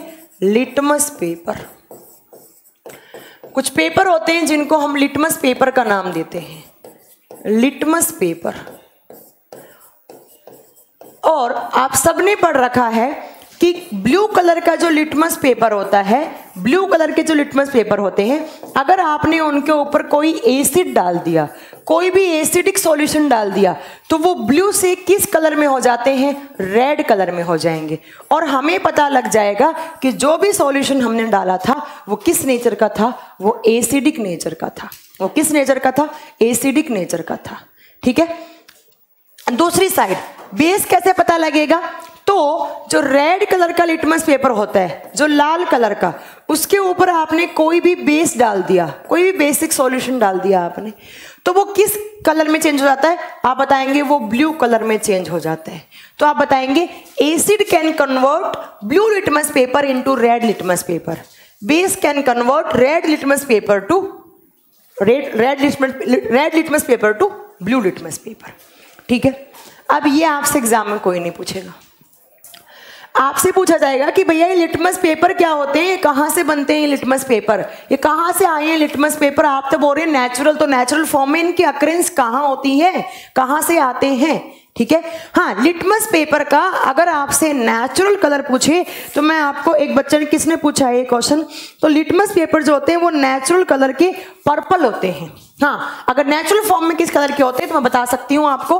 किसी बच्चे ने क्वेश्चन पूछा, मुझे नाम तो नहीं दिख रहा। लिटमस पेपर का अगर नेचुरल कलर पूछा जाता है आपसे, प्राकृतिक रंग, किसने पूछा है? प्रवेश मीना जी, आपका क्वेश्चन का आंसर है नेचुरल कलर अगर पूछा जाए तो वो पर्पल कलर का होता है। पर्पल कलर के होते हैं, ठीक है?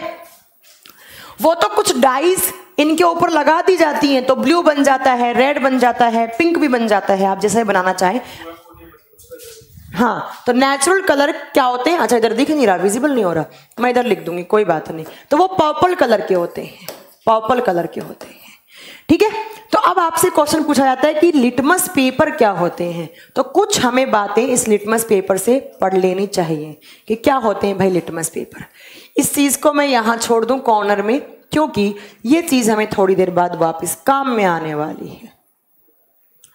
यहाँ पे हेडिंग देंगे आप, लिटमस पेपर क्या होते हैं? मैंने बोला नेचुरल है तो नेचुरल तो इसका मतलब नेचुरल फॉर्म में होते होंगे। देखिए लिटमस पेपर कहाँ से बनाए जाते हैं? जब मैं आपको बायोलॉजी में प्लांट किंगडम पढ़ाऊँगी तो मैं आपको वहाँ पर पढ़ाऊँगी, एक प्लांट का क्लासिफिकेशन है, जिसके अंदर कौन आते हैं? थैलोफाइटा आते हैं। जिसके अंदर कौन आते हैं?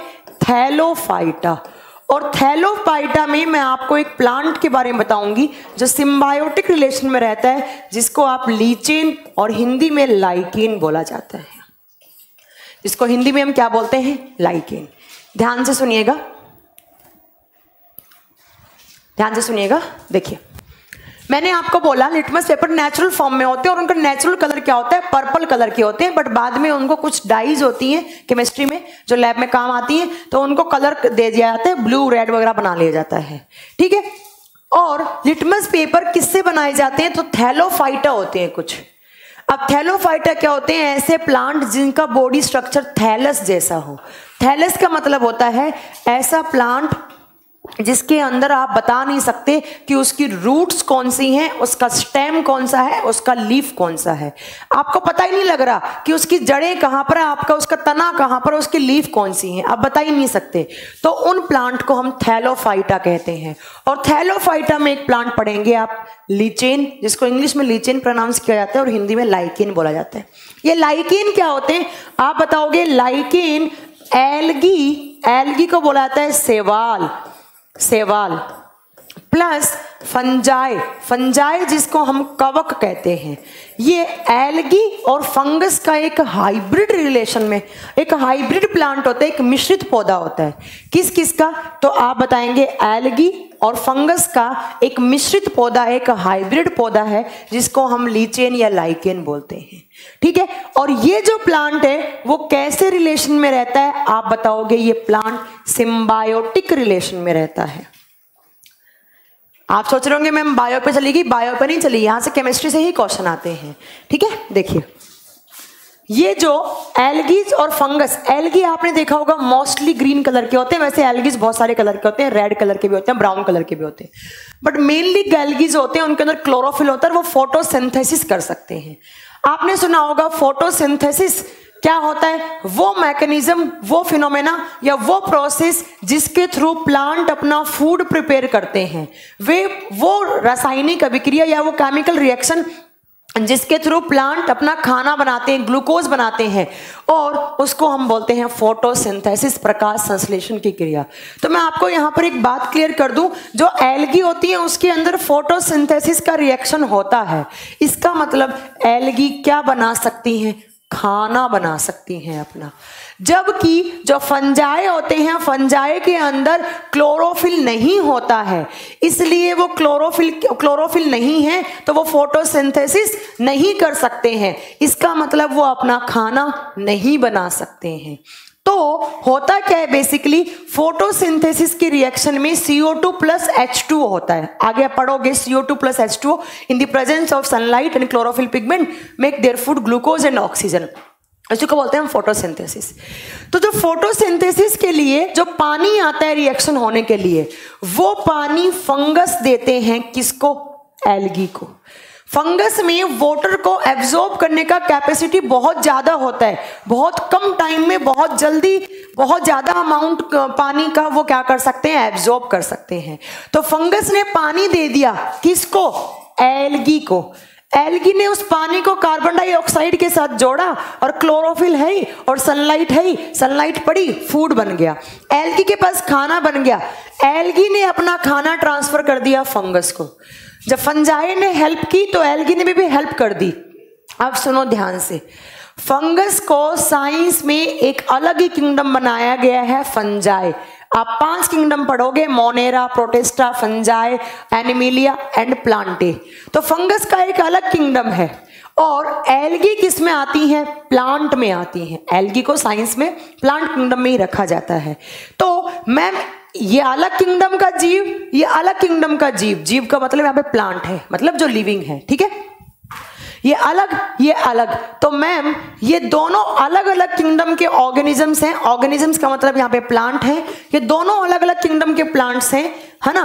और एक प्लांट है और प्लस फंजाई है, ठीक है? पहले इनको प्लांट किंगडम में ही रखा जाता था बैक्टीरिया वगैरह के साथ में। बाद में इनका अलग से बना दिया।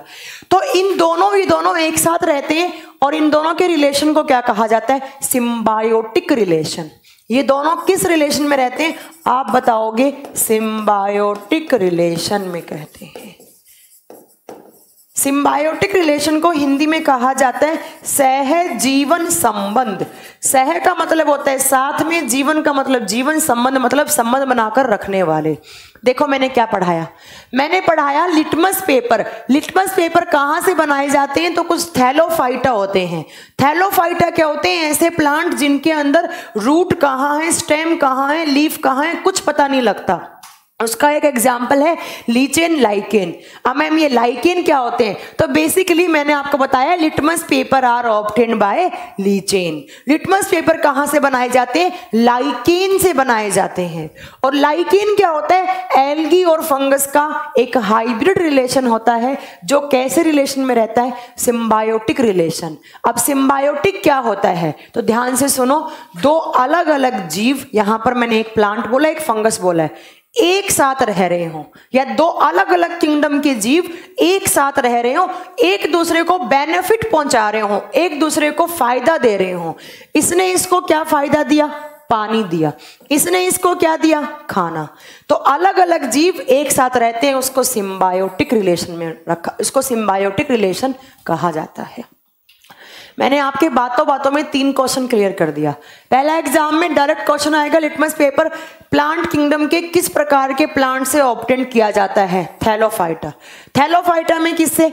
लीचेन से लाइकेन से। लाइकेन किस किस का हाइब्रिड रिलेशन है? फंगस एंड एल्गी का। एल्गी का काम क्या होता है? खाना बनाना। फंग फंजाए का काम क्या होता है? पानी देना। इस रिलेशन को क्या बोलते हैं? सिम्बायोटिक रिलेशन और ये जो एलगीज होता है, जो आपका लीचेन होता है लाइकेन इससे एक लिक्विड सा निकलता है और उस लिक्विड से बनाई जाती हैं फिट्स मेडिसिन फिट्स क्या होते मिर्गी के दौरे पड़ते हैं। जब मिर्गी के दौरे पड़ते हैं तो जो दवाइयाँ बनती हैं, वो भी इस लीचेन से बनती हैं। दूसरा, इस लीचेन को कहा जाता है एयर पॉल्यूशन इंडिकेटर प्लांट इसको क्या कहा जाता है? इसको एयर पॉल्यूशन इसको कहा जाता है, अरे भाई थोड़ा बड़ा हो जा। हम्म देखिए, इस लीचेन से एक पॉइंट और क्या है आपका? इस लीचेन को कहा जाता है एयर पॉल्यूशन इंडिकेटर प्लांट या इसको एयर पॉल्यूशन इंडिकेटर या पॉल्यूशन इंडिकेटर प्लांट भी कहा जाता है। वायु प्रदूषण सूचक पौधा एयर पॉल्यूशन इंडिकेटर प्लांट जो SO2 का अमाउंट इंडिकेट करता है। जो सल्फ़र डाइऑक्साइड का अमाउंट इंडिकेट करता है। इतने सारे क्वेश्चंस आते हैं यहाँ से। डायरेक्टली एग्ज़ाम में पूछे जाते हैं। मैं आपको फिर रिपीट कर दूँ। लिटमस पेपर नेचुरल कुछ आपके इंडिकेटर होते हैं जो एसिडिक बेसिक सॉल्यूशन को बता देते हैं और वो नेचुरली फॉर्म में पाए जाते हैं। कैसे? तो प्लांट से मिलते हैं। प्लांट नेचुरल होते हैं, पता है आपको? है? हाँ? और कौन सा? लीचेन लीचेन कैसे रिलेशन में रहता है? सिम्बायोटिक रिलेशन में। क्या खाता है? सॉरी किस किस का? एल्गी फंगस का। एल्गी क्या देता है? फ़ूड, फंजाई क्या देते हैं? पानी। और इसको बोलते हैं air pollution indicator plant. SO2 का अमाउंट बताता है कि कितना अमाउंट है सल्फ़र डाइऑक्साइड का। क्योंकि सल्फ़र डाइऑक्साइड से क्या होता है? पोल्यूशन होता है। ठीक है? तो ये आपका लिटमस पेपर वाला कॉन्सेप्ट मैंने क्लियर कर दिया। सीधा एग्ज़ाम में यहाँ से क्वेश्चन बनता है। हाँ मैंने आपको बता दिया अब कैसे पढ़ना है, आप जाने और आपका काम जाने। नेक्स्ट देखो। नेक्स्ट आपको एक पॉइंट याद रखना है कि जो एसिड एंड बेस होते हैं, वो क्या होते हैं? तो आप बताएँगे एसिड और बेस से एसिड और बेस होते हैं, वो गुड कंडक्टर ऑफ़ इलेक्ट्रिसिटी होते हैं। एसिड और बेस अम्ल और क्षार जो होते हैं they are good conductor of good conductor of conductor of electricity कहने का मतलब है, अम्ल और क्षार वैद्युत के सुचालक होते हैं। किसके? वैद्युत के सुचालक होते हैं। अब मैम, ये क्यों होते हैं सुचालक? आप सबको पता है कि इलेक्ट्रिसिटी कंडक्ट करवाने के लिए हमें क्या चाहिए होते हैं? इलेक्ट्रिसिटी कंडक्ट करवाने के लिए मैम, हमारे पास फ्री आयंस होने चाहिए। कुछ मुक्त आयन होने चाहिए। वो आयंस किसी भी फॉर्म में हो सकते हैं। वो पॉजिटिव और नेगेटिव दोनों फॉर्म में हो सकते हैं। ठीक है? हमारे पास कुछ फ्री आयंस होने चाहिए और आयंस हैं तो मतलब हम इलेक्ट्रिसिटी कंडक्ट करवा सकते हैं। तो बेसिकली आयंस हैं एसिड के पास कैसे आयन है? एच प्लस और बेस के पास कैसे हैं? ओ नेगेटिव एसिड और base good conductor of electricity होते हैं, इसका रीजन क्या होता है? क्योंकि ये दोनों इलेक्ट्रोलाइट होते हैं। एसिड और बेस क्या होते हैं? इलेक्ट्रोलाइट होते हैं। और हिंदी में इसको बोलते हैं, वैद्युत अपघटिये वैद्युत अपघटिये अब मैम इलेक्ट्रोलाइट क्या होता है? एक नया टर्म सुना हमने। एक नया टर्म सुना हमने व्हाट इज़ इलेक्ट्रोलाइट वैद्युत अपघटीय क्या होता है? ध्यान से सुनना, ऐसा कोई लिक्विड जिससे आप इलेक्ट्रिक करंट को फ्लो कर पाओ। ऐसा कोई लिक्विड ऐसा कोई सब्सटेंस जो लिक्विड फॉर्म में है और जिससे आप इलेक्ट्रिक करंट क्या कर पाओ? फ्लो कर पाओ। ऐसा तरल पदार्थ जिसके अंदर से विद्युत धारा प्रवाहित की जाए, उसको इलेक्ट्रोलाइट बोलते हैं। और यहाँ पर क्यों? रीजन क्या है? आपके सामने है। फ्री आयंस कभी कभी बुक्स में लिखा हुआ होता है कि जो स्ट्रॉन्ग एसिड्स होते हैं they are good conductor of electricity या स्ट्रॉन्ग बेस होते हैं they are good conductor of electricity मैं आपको बता रही हूँ कि एसिड बेस दोनों ही गुड कंडक्टर ऑफ़ इलेक्ट्रिसिटी होते हैं, चाहे वो स्ट्रॉन्ग हो, चाहे वो बेस हो। हाँ स्ट्रॉन्ग को क्या कहा जाता कहा, क्यों कहा जाता है? कि स्ट्रॉन्ग है इसका मतलब उसके अंदर कौन से आयंस जाता है? H plus ions H plus ions ज़्यादा है तो आयन ज़्यादा है तो आपको पता ही फ्री आयंस भी क्या होंगे? ज़्यादा होंगे। इसलिए हमने उसको क्या बोल दिया? Good conductor conductor of electricity ठीक है? ये पॉइंट भी आपका क्लियर हो गया। अब चलते हैं नेक्स्ट एक मिनट का टाइम दो, मैं पानी पी लू। मेरा गला हो गया खराब थोड़ा सा हम्म देखिए, मैंने आपको बताया,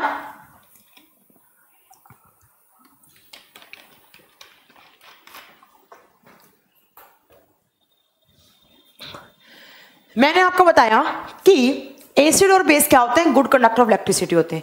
इसके बाद मैंने बताया कि हम एक नेचुरल इंडिकेटर यूज़ करते हैं। कौन सा? तो आपने बता दिया मैम हम लिटमस पेपर यूज़ करते हैं।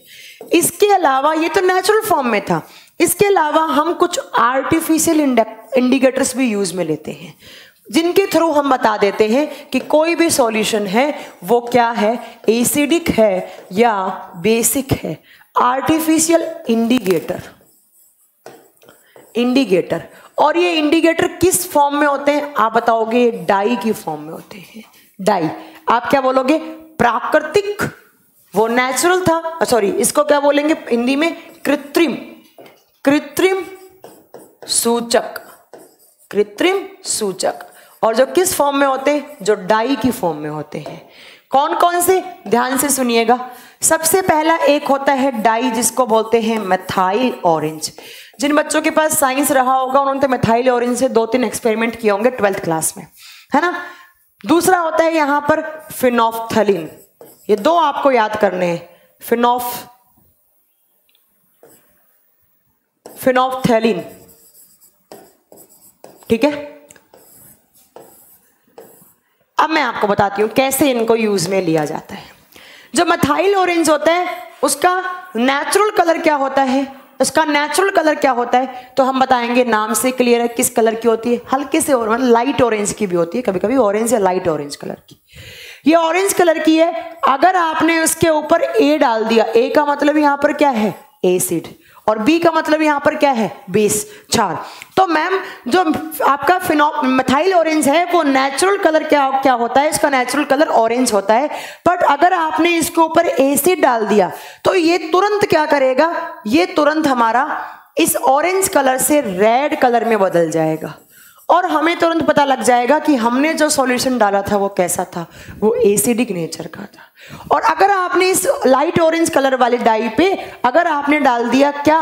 अगर आपने डाल दिया बेस कोई भी बेसिक सॉल्यूशन डाल दिया, तुरंत ये पीले रंग में चेंज हो जाएगा।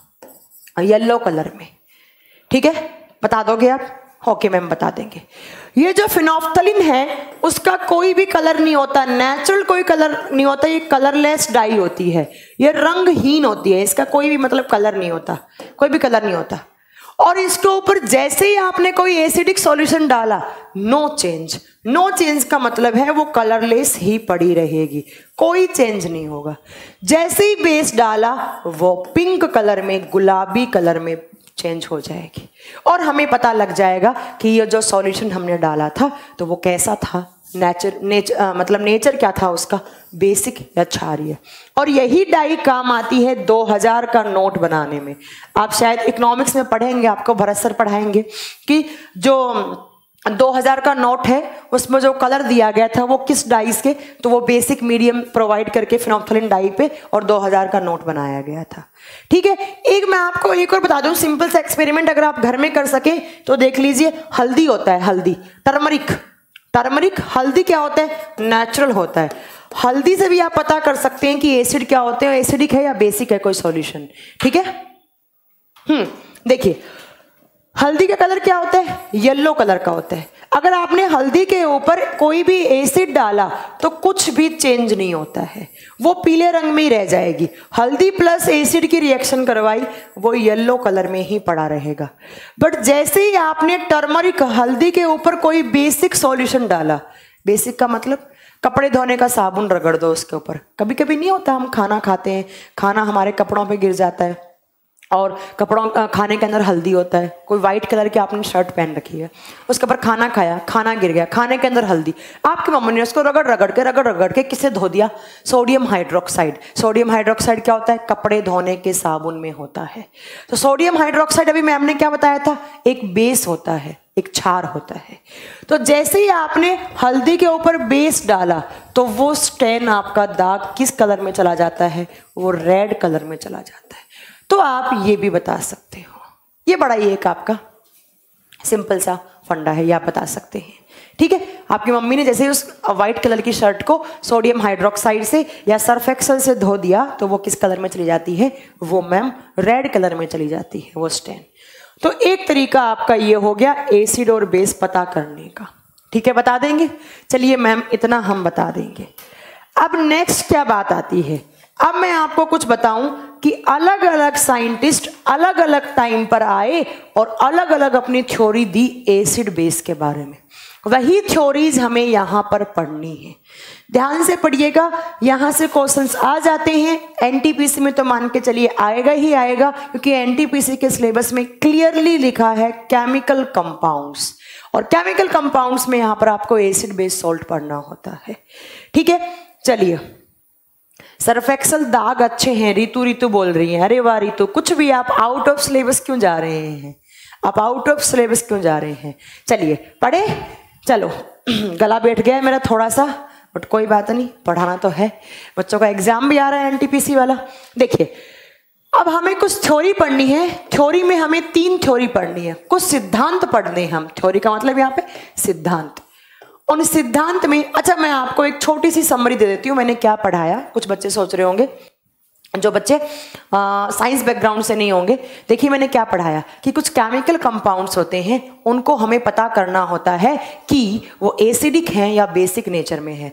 सबसे पुराना तरीका मैम उनको टेस्ट कर लेंगे, जो खट्टी लगेगी वो एसिड जो कड़वा लगेगा वो बेस जैसे मैम बेस हम कपड़े धोने का साबुन, नहाने का साबुन, या जो सोडे होते हैं बेकिंग पाउडर बेकिंग सोडे को चखो, आपको क्या लगता है कड़वा? क्योंकि सोडे हमेशा किस नेचर में होते हैं? वो हमेशा बेसिक नेचर में होते हैं।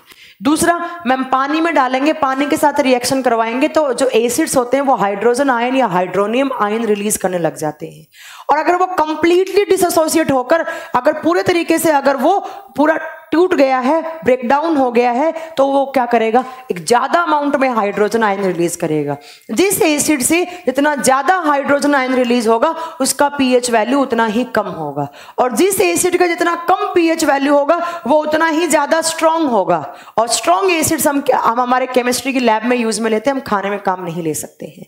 वीक एसिड्स वो हैं जो हम खाने में काम में लेते हैं मतलब नॉर्मली हम जो डेली लाइफ में काम में लेते हैं, जैसे टमाटर खाया ऑक्जेलिक एसिड टैमरिन इमली खाया टार्टरिक एसिड आपने दही खाया लैक्टिक एसिड ऐसे आपने कोल्ड ड्रिंक पी कार्बोनिक एसिड तो ये सब क्या होते हैं? वीक एसिड्स होते हैं। और वीक एसिड्स का मतलब है, जो इसको पानी में डालो कंप्लीटली जो क्या हो कंप्लीटली डिसोसिएट ना हो मतलब पार्शियली वो क्या हो जाए ब्रेक डाउन हो जाए उनका।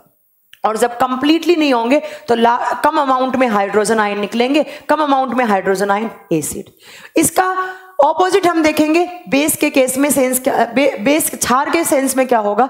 जिनका पीएच वैल्यू नियर बाई 14 हो या 12 13 14 आ रहा हो तो वो स्ट्रॉन्ग बेस और 7 से ऊपर और नियर बाई 10 10.5 आ रहा हो उसको वीक बेस बोलेंगे, या स्लाइटली बेसिक बोलते हैं उनको। हो गया सेवन रहेगा सेवन वो वैल्यू है जहाँ पर H प्लस और ओ OH नेगेटिव दोनों इक्वल हो जाते हैं। उसको न्यूट्रल बोलते हैं। न्यूट्रल क्या होता है? पानी। कौन सा पानी? डिस्टिल्ड वाटर कहाँ काम आता है? आपकी लैब में या आपका बैटरीज में काम आता है। ठीक है? उसके बाद आपको याद क्या करना है? उसके बाद आपको याद करना है कि कुछ नेचुरल इंडिकेटर्स होते हैं जिनमें हम लिटमस पेपर को इंक्लूड करते हैं। उनके थ्रू हम किसी भी सॉल्यूशन का हाँ तो किसी भी सॉल्यूशन का हम पता कर लेते हैं। अगर ब्लू लिटमस पेपर पे लिटमस पेपर ओरिजिनल तो मैम क्या होते हैं? पर्पल कलर के होते हैं। कहाँ से मिलते हैं? थैलोफाइटा थैलोफाइटा में कौन सा? लीचेन या लाइकेन और किस किस का? हाइब्रिड एल्गी फंगस का। उससे मिलते हैं। ठीक है? और जब हम पर्पल कलर को कुछ डाई से कलर कर देते हैं तो रेड वाला जब ब्लू में कन्वर्ट होता है क्या कौन सा सॉल्यूशन डालने से? बेस और ब्लू से रेड कब कन्वर्ट होता है? जब आपको ये एसिड डालोगे। ये लो। और कुछ आर्टिफिशियल डाई जो केमिस्ट्री में बनती है लैब में वो हम काम में लेते हैं। Number one is phenolphthalein number two आप क्या बताएँगे? मैथाइल ऑरेंज और 2000 का नोट बनाने में फिनोफ्थलिन काम में आती है। ठीक है? इसके अलावा आ, हमारा हल्दी हल्दी बड़ा कॉमन लाइफ में हम यूज़ में देते हैं तो वो एग्ज़ाम्पल भी कर सकते हैं। इतना मैंने आपको पढ़ाया। ठीक है? इसके अलावा मैंने आपको कुछ नहीं पढ़ाया। अब अलग अलग साइंटिस्ट आए अलग अलग टाइम पे उन्होंने अपनी थ्योरीज दी किसके बारे में? एसिड बेस के बारे में। चलिए एक एक करके थ्योरी पढ़ते हैं। हम्म देखिए, सबसे पहले साइंटिस्ट आए आरएनएस आप बताएँगे, सबसे पहले साइंटिस्ट कौन से आए थे? आरएनएस तो आरएनएस जी ने बातें बोली कुछ किसके बारे में? तो आप बताएँगे आरएनएस जी ने एसिड बेस के बारे में कुछ बातें बताई। क्या बात बताई? ध्यान से सुनिएगा, बड़ा गौर से सुनिएगा केमिस्ट्री बहुत इजी है। अगर पढ़ने लग जाओ तो ही इजी है। आरएनएस जी ने क्या बोला? जो मैंने आपको अभी डेफिनेशन बताई थी, जो कॉमन हम डेफिनेशन देते हैं हाइड्रोजन आयन वाली या ओ नेगेटिव वाली, उसको हम आरएनएस का ही डेफिनेशन बोलते हैं। आरएनएस जी ने सिंपल सी चीज़ बताई कि एसिड वो है एसिड वो केमिकल कंपाउंड है, जो पानी में, जो वाटर में, या तो H प्लस या H3O प्लस आयंस रिलीज़ करें। तो उन उन केमिकल कंपाउंड को हम एसिड का नाम देते हैं। दूसरा बेस क्या है? बेस वो कंपाउंड है जो पानी में कौन से आयंस रिलीज़ करें? OH negative hydroxyl ion release करें।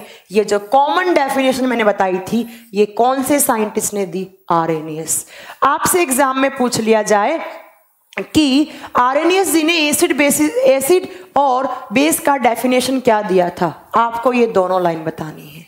क्लियर हो गया? आरएनएस जी ने बड़ी सिंपल सी डेफिनेशन दी थी, जो मैंने आपको बता दिया। बट ये ज़रूर बोलना, H प्लस आइंस कब देते हैं? पानी में। अकेला, ऐसे थोड़ा ना अकेला अपने आप H प्लस आइन रिलीज़ करने लग जाएगा। ऐसा कुछ नहीं होता है। पानी में जब H प्लस आइन रिलीज़ करें तो वो एसिड्स और बेस क्या होंगे जो पानी के अंदर ओ OH नेगेटिव ये डेफिनेशन ये परिभाषा किसके द्वारा दी गई थी? आरएनएस और इसको आरएनएस थ्योरी के नाम से जानते कुछ नया नहीं है मैम ये तो आप पढ़ा चुकी हैं। चलिए, इसके बाद आए थे ब्रॉन्स्टेड एंड लोरी इसके बाद Bronsted and Lowry Bronsted and Lowry इन दोनों ने अपना थ्योरी दिया। अब हिंदी में कुछ अलग नाम नहीं है ब्रॉन्स्टन एंड लोरी नाम याद रखेंगे। ठीक है? कुछ अलग नाम नहीं है। इन दोनों ने क्या बोला? इसको मैं स्टार करती हूँ। ये एग्ज़ाम में पूछा जा सकता है और पूछा हुआ भी है बहुत सारे एग्ज़ाम में। ध्यान से सुनिएगा आर ने क्या किया कि एसिड एसिड हम किसको बोलेंगे? एसिड वो केमिकल कंपाउंड हैं जो पानी के अंदर प्रोटॉन रिलीज़ करते हैं। एसिड क्या है? वो कंपाउंड है जो पानी में पानी में प्रोटॉन रिलीज़ करते हैं। और प्रोटॉन पे कैसा चार्ज होता है? पॉजिटिव। अब ये क्या बताऊँ मैं, प्रोटॉन क्या होता है? सिक्स स्टैंडर्ड से पढ़ते आ रहे हैं कि एटम के अंदर तीन सब अटोमिक पार्टिकल होते हैं इलेक्ट्रॉन प्रोटॉन न्यूट्रॉन इलेक्ट्रॉन पे नेगेटिव चार्ज होता है, सबसे बाहर ऑर्बिट्स में रिवॉल्व करते रहते हैं। प्रोटॉन न्यूट्रॉन कहाँ रहते हैं? न्यूक्लियस के अंदर रहते हैं। न्यूक्लियस के अंदर जो न्यूट्रॉन होते हैं, उसके ऊपर कोई भी चार्ज नहीं होता, कोई भी आवेश नहीं होता। और जो प्रोटोन होते हैं, उसके ऊपर पॉजिटिव चार्ज होता है। ठीक है? तो इन्होंने थोड़ा सा मॉडिफाई कर दिया उस, जो आपके किस्म दिया था? आर एन उन्होंने बोला कि एसिड वो हैं जो पानी में कौन से आयन रिलीज़ करें? प्रोटोन आयन रिलीज़ करें। कहने का मतलब है एसिड, और एसिड को जब मैंने वाटर दिया तो क्या रिलीज़ होगा यहाँ से? यहाँ से प्रोटोन रिलीज़ होने लग जाएँगे। ये किसने बताया? हमारे ब्रॉन्स्टेड जी ने बताया।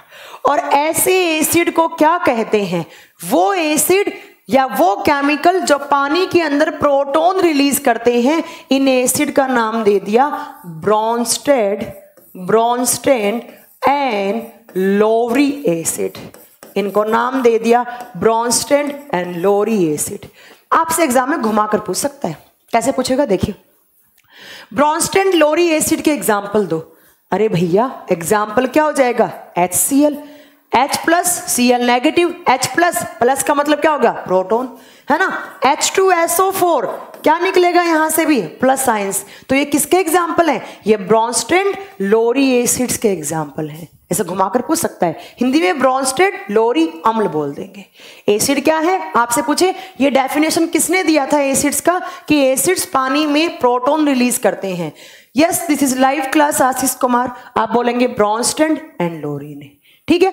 अब ब्रॉन्स्टन एंड लोरीजे दूसरा डेफिनेशन क्या दिया? बेस का। इन्होंने बोला कि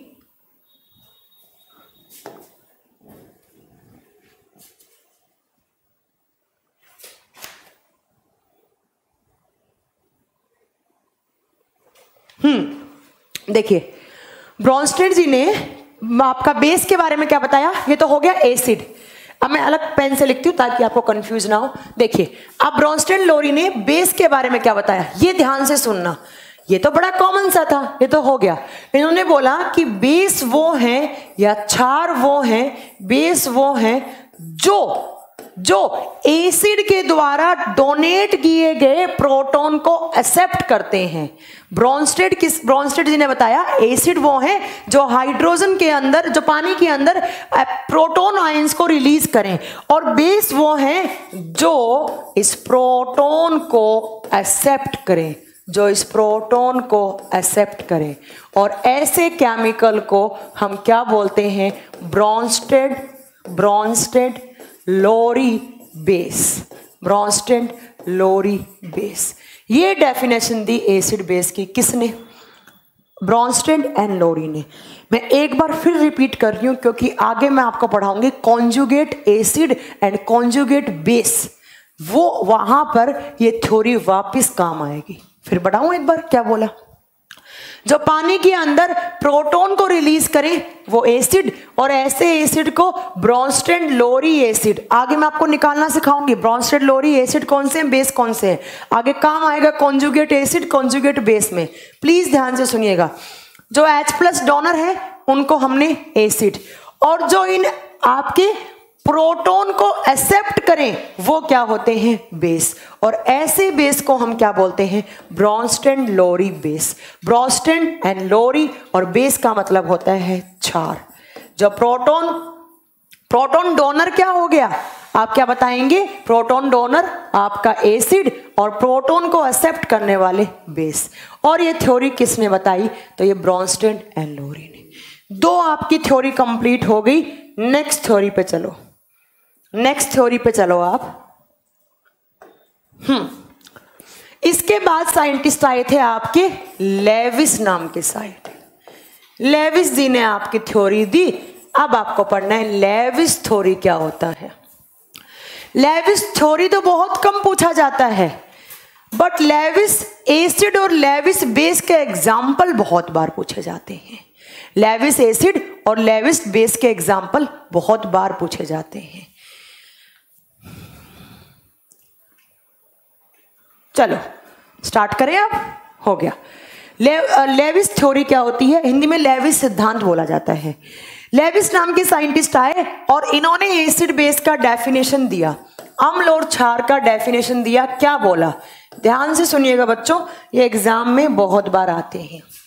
इन्होंने कहा कि लेविस एसिड लेविस ने क्या कहा कि एसिड वो है मैं यहाँ पर लिख रही हूँ या केमिकल कंपाउंड ऐसे केमिकल कंपाउंड या एसिड वो है जो जो शेयर्ड शेयर किए हुए shared pair electron share pair electron को को, ध्यान से सुनिएगा, आपको समझ में आएगा, पहले मैं थोड़ी लिख रही हूँ यहाँ पर, को एक्सेप्ट करे, को एक्सेप्ट करे। ध्यान से सुनिएगा, मैंने क्या लिखा है यहाँ पर? मैंने लिखा है कि लेविस जी ने बताया कि एसिड्स वो हैं जो शेयर्ड पेयर ऑफ़ इलेक्ट्रॉन, जो शेयर्ड पेयर ऑफ़ इलेक्ट्रॉन को एक्सेप्ट करें। अब मैम, ये तो एक नया नाम सुना दिया आपने। ये शेयर्ड पेयर ऑफ़ इलेक्ट्रॉन क्या होता है? ठीक है? ये शेयर्ड पेयर ऑफ़ इलेक्ट्रॉन क्या होता है? ध्यान से सुनिएगा। शेयर्ड पेयर ऑफ़ इलेक्ट्रॉन को केमिस्ट्री में कहा जाता है लोन पेयर केमिस्ट्री में कहा जाता है लोन पेयर जो बच्चे साइंस बैकग्राउंड में हैं तो वो तो जानते होंगे लोन पेयर होते क्या है. लोन पेयर का मतलब है एक्स्ट्रा पड़े हुए इलेक्ट्रॉन एक्स्ट्रा पड़े हुए इलेक्ट्रॉन कोई भी कंपाउंड है, मान लो, ध्यान से सुनिएगा, मान लो ए नाम का कोई कंपाउंड है. इसके पास छह इलेक्ट्रॉन थे। दो दो, चार, दो छ ध्यान से सुनिएगा। शेयर्ड का मतलब होता है साझा किया हुआ। पेयर का मतलब जोड़ी। जोड़ियों में होते हैं हमेशा। और इलेक्ट्रॉन। ठीक है? और इनको हम बोलते हैं लोन पेयर। Lone pair. देखिए, मान लीजिए एक एक मैंने ए नाम का कोई कंपाउंड बोला है। इसके पास आउटर सेल में, इसके पास छह इलेक्ट्रॉन थे। चार इलेक्ट्रॉन इसने काम में ले लिए बॉन्ड बनाने में। ये चार इसने जो भी एक्स वाई जेड जो भी इसने बॉन्ड बनाया हो, हम यहाँ पर बात नहीं कर रहे हैं, ठीक है? तो वो बॉन्ड बनाने में काम आ गए। और ये जो दो एक्स्ट्रा पड़े थे, जिन्होंने बॉन्ड नहीं बनाया तो ये जो एक्स्ट्रा पड़े हुए इलेक्ट्रॉन हैं, वो इलेक्ट्रॉन जो इन्वॉल्व नहीं होते हैं बॉन्ड बनाने में, उनको हम लोन पेयर इलेक्ट्रॉन बोलते हैं। समझ में आ गया? ऐसे electron that can not involvement that can not having involvement in making chemical bonding वो इलेक्ट्रॉन जो किसी भी प्रकार का बंद बनाने में काम नहीं आते हैं. एक्स्ट्रा पड़े हुए इलेक्ट्रॉन एक्स्ट्रा हैं इसके पास. एक्स्ट्रा है?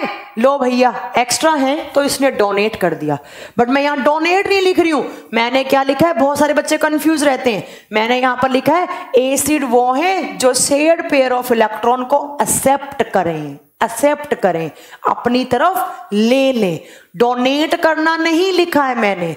और एक्सेप्ट करें किसको? आप बताओगे लोन पेयर को। लोन पेयर का मतलब क्या है? बॉन्ड बनाने के बाद किसी भी एलिमेंट के पास जो एक्स्ट्रा पड़े हुए इलेक्ट्रॉन हैं, उनको हम लोन पेयर बोलते हैं या शेयर्ड पेयर ऑफ़ इलेक्ट्रॉन के नाम से जानते हैं। और इन शेयर पेयर ऑफ़ इलेक्ट्रॉन को एक्सेप्ट करने वाला केमिकल कंपाउंड एसिड होता है। किसने बताया था? लेविस जी ने। इसको मैंने क्या बना दिया? लेविस थ्योरी और ऐसे एसिड ध्यान से सुनिएगा, ऐसे एसिड जो शेयर्ड पेयर ऑफ़ इलेक्ट्रॉन या लोन पेयर को एक्सेप्ट करते हैं, उन एसिड को बोला जाता है लेविस एसिड उन एसिड को बोला जाता है लेविस अम्ल। हिंदी में लुइस लिखा होता है लुइस एसिड या लुइस अम्ल। एक ही बात है, ठीक है? उनको हम लुइस अम्ल बोलेंगे। ये डेफिनेशन एसिड की किसने दी? मैम लेविस नाम के साइंटिस्ट ने दी। ठीक है? इस चीज़ को मैंने साइड में भेज दिया। इस चीज़ को मैंने यहाँ रख दिया। अभी एग्ज़ाम्पल दूँगी मैं, इसका एग्ज़ाम्पल पर आएँगे, हम बात करेंगे एग्ज़ाम्पल पे। अब आते हैं हम लेविस बेस पर। इन्होंने बेस के बारे में क्या बताया? एसिड तो हो गया। एसिड ने क्या किया? शेयर्ड पेयर ऑफ़ इलेक्ट्रॉन को एक्सेप्ट किया। तो कहीं ना कहीं से तो आया होगा। किसी ने डोनेट किया होगा, किसी डोनर ने। तो उसको हमने क्या बोल दिया यहाँ पर? Lewis base.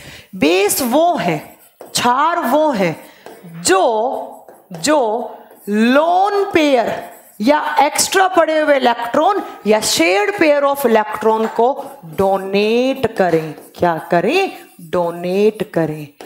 तो ऐसे बेस को हम क्या बोलते हैं? लेविस बेस के नाम से जानते हैं। या लुइस छार या लेविस छार के नाम से जाना जाता है।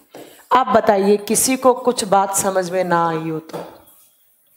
किसी को कोई बात समझ में ना आई हो तो? बिल्कुल सही। कमेंट्स भी पढ़िए मैम। कमेंट्स में पढ़ाऊँगी तब नहीं पढ़ूँगी। फिर बच्चे क्या होते हैं? कंफ्यूज जाते हैं। अभी नहीं, बाद में पढ़ाएँगे। ठीक है? हम्म। मैम आज आप गुस्से में हैं क्या? नहीं, मैं आज गुस्से में नहीं, आज मैं पढ़ाने के मूड में हूँ, ठीक है? ऐसा नहीं है। तो ये हो गया, ऐसे एसिड जो शेयर पेयर ऑफ़ इलेक्ट्रॉन को एक्सेप्ट करें लेविस एसिड बता देंगे, और ऐसे, इसे ऐसे ऐसे केमिकल कंपाउंड जो शेयर लोन पेयर इलेक्ट्रॉन को डोनेट कर पाए, उनको हम क्या बोलते हैं? बेस अब मैं आपको इसका एग्ज़ाम्पल दे के समझाऊं तो आपको बहुत अच्छे से समझ में आएगा। देखिए कैसे मैं, अरे भाई छोटा हो जा बड़ा कौन कर रहा है तुझे? एक तो ये इंडिया की टेक्नोलॉजी ना ना समझ में आती है, ना इनसे दूर हट सकते हैं। डिजिटल बोर्ड में पढ़ाने का मन भी करता है और पढ़ा भी नहीं पाते हैं। हालाँकि अब तो मेरा हाथ बहुत जम गया, ऐसी बात नहीं है। जब क्लास नहीं होती तो प्रैक्टिस करती हूँ मैं, है ना? देखिए। मान लो ए और बी दो एलिमेंट है। ध्यान से सुनिएगा इसको। ए और बी दो एलिमेंट हैं। तो दो एलिमेंट हैं। ए के पास दो लोन पेयर वाले मतलब सॉरी एक लोन पेयर एक्स्ट्रा है उसके पास। ठीक है? इसके पास दो इलेक्ट्रॉन एक्स्ट्रा पड़े थे। इस बी ने इसको ए को डोनेट कर दिया। अब मुझे जल्दी से बताओ, इसके अंदर लेविस एसिड कौन सा है और लेविस बेस कौन सा है? फास्ट जल्दी से कमेंट करो। ए और बी में लेविस एसिड कौन सा हुआ और लेविस बेस कौन सा हुआ? प्लीज़ जल्दी बताइए मुझे। मैंने बोला है कि बी के पास लोन पेयर था एक एक्स्ट्रा पड़े हुए इलेक्ट्रॉन थे लोन पेयर था, इसने डोनेट कर दिया। इसने डोनेट किसको किया? ए को। अब मुझे बताओ डोनर डोनर डोनर क्या होता है? ये देखो मैम डोनर क्या होता है? जो लोन पेयर को डोनेट करे लेविस बेस कहलाता है। डोनेट किसने किया? बी ने। तो बी को मैं यहाँ पर क्या नाम दूँगी? इसको लेविस बेस का नाम दूँगी या लुइस छार का नाम दूँगी। और एक्सेप्ट किसने किया लोन पेयर को? ए ने। एक्सेप्ट करने वाला क्या होता है? एसिड तो इसको नाम क्या दूँगी मैं? लेविस बेस बस, हो गया कॉन्सेप्ट क्लियर और क्या था? Sorry Lewis acid typing mistake है। लेविस एसिड इसने एक्सेप्ट किया? लेविस अम्ल ये लो, हो गया। हो गया। हाँ सही ने, सबने आंसर दिया है। ऐसा पढ़ाएँगे तो हम डेली पढ़ेंगे। ओके, मेरे डेली ही क्लास होती है, जूना पंडित जी। ठीक है? चलिए, अब कुछ एग्ज़ाम्पल की बात हो जाए, क्योंकि एग्ज़ाम्पल पूछे जाते हैं एग्ज़ाम में। ये थ्योरी नहीं पूछी जाएगी। कभी कभार एग्जामिनर का मूड है, यार थ्योरी बना दी तो बना दी। यहाँ पर आपसे ज़्यादातर एग्ज़ाम्पल पूछे जाते हैं। मैं यहाँ पर एग्ज़ाम्पल लिख रही हूँ, पहले example of Lewis acid example of Lewis acid और उधर की साइड में लिख देती हूँ example of of Lewis base ठीक है? हाँ ये एग्ज़ाम्पल जो बहुत कॉमनली पूछे जाते हैं, वही सब मैं आपको यहाँ पर पढ़ा रही हूँ। देखिए, सबसे पहला अलग पेन से लिखती हूँ, ताकि बच्चों को अच्छे से दिखे। सबसे पहले अगर मैं लेविस एसिड का एग्ज़ाम्पल लू तो लेविस एसिड में अच्छा चलो मैं एक कॉमन एग्जांपल मुझे लगता है बच्चों को कुछ समझ में नहीं आया तो मैं एक चीज़ बता देती हूँ। एक कॉमन एग्जांपल लेकर चलती हूँ, ठीक है? फिर वो एग्जांपल यहाँ भी लिख देंगे।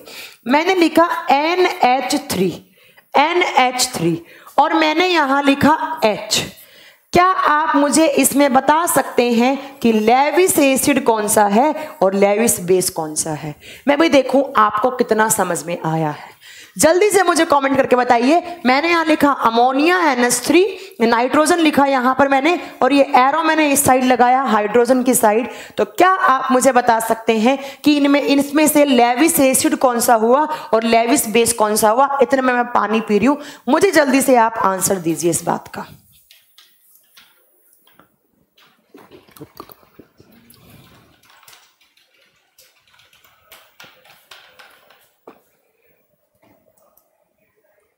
जल्दी बताइए।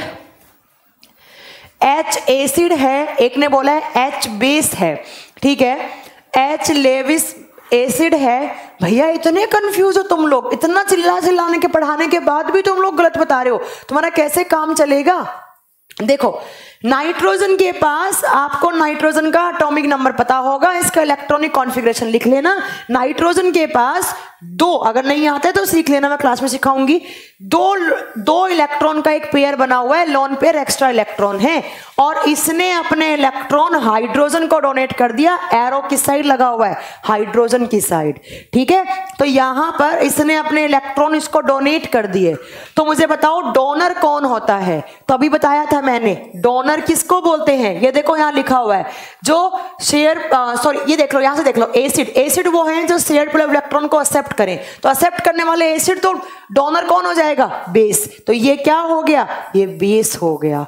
और एक्सेप्ट करने वाला कौन सा हो गया? तो आप बताएँगे एसिड हो गया। अब मैं एक बात और कंफर्म कर दूँ आपको। अब आप मुझे बताइए NH3 क्या है? लेविस क्या है? बेस है। और एच यहाँ पर क्या बन गया? एच यहाँ पर एसिड बन गया। तो मैं एच को यहाँ पर लेविस एसिड में लिख दूँ। है ना? हो गया? और बेस का एग्ज़ाम्पल एन थ्री हो गया। बस यही एग्ज़ाम में आते हैं, यही एग्ज़ाम में आते हैं। एक क्वेश्चन बताती हूँ मैं आपको, थोड़ा सा इससे हाई लेवल का, कुछ बच्चों को समझ में आएगा, कुछ को नहीं आएगा नहीं आएगा, उनको आगे बताऊँगी मैं। ये जो लेविस एसिड और लेविस बेस के बीच में डोनेट और एक्सेप्ट करने से जो बॉन्ड बनता है, ये जो मैंने बॉन्ड दिखाया है, ये बॉन्ड बनता है कोऑर्डिनेट बॉन्ड कौन सा बॉन्ड बनता है? कोऑर्डिनेट बॉन्ड और इसको हिंदी में कहा जाता है उपसह संयोजक मैं अपनी क्लास में हमेशा बोलती हूँ, डोनर और एक्सेप्टर के बीच में बट डोनर कौन सा?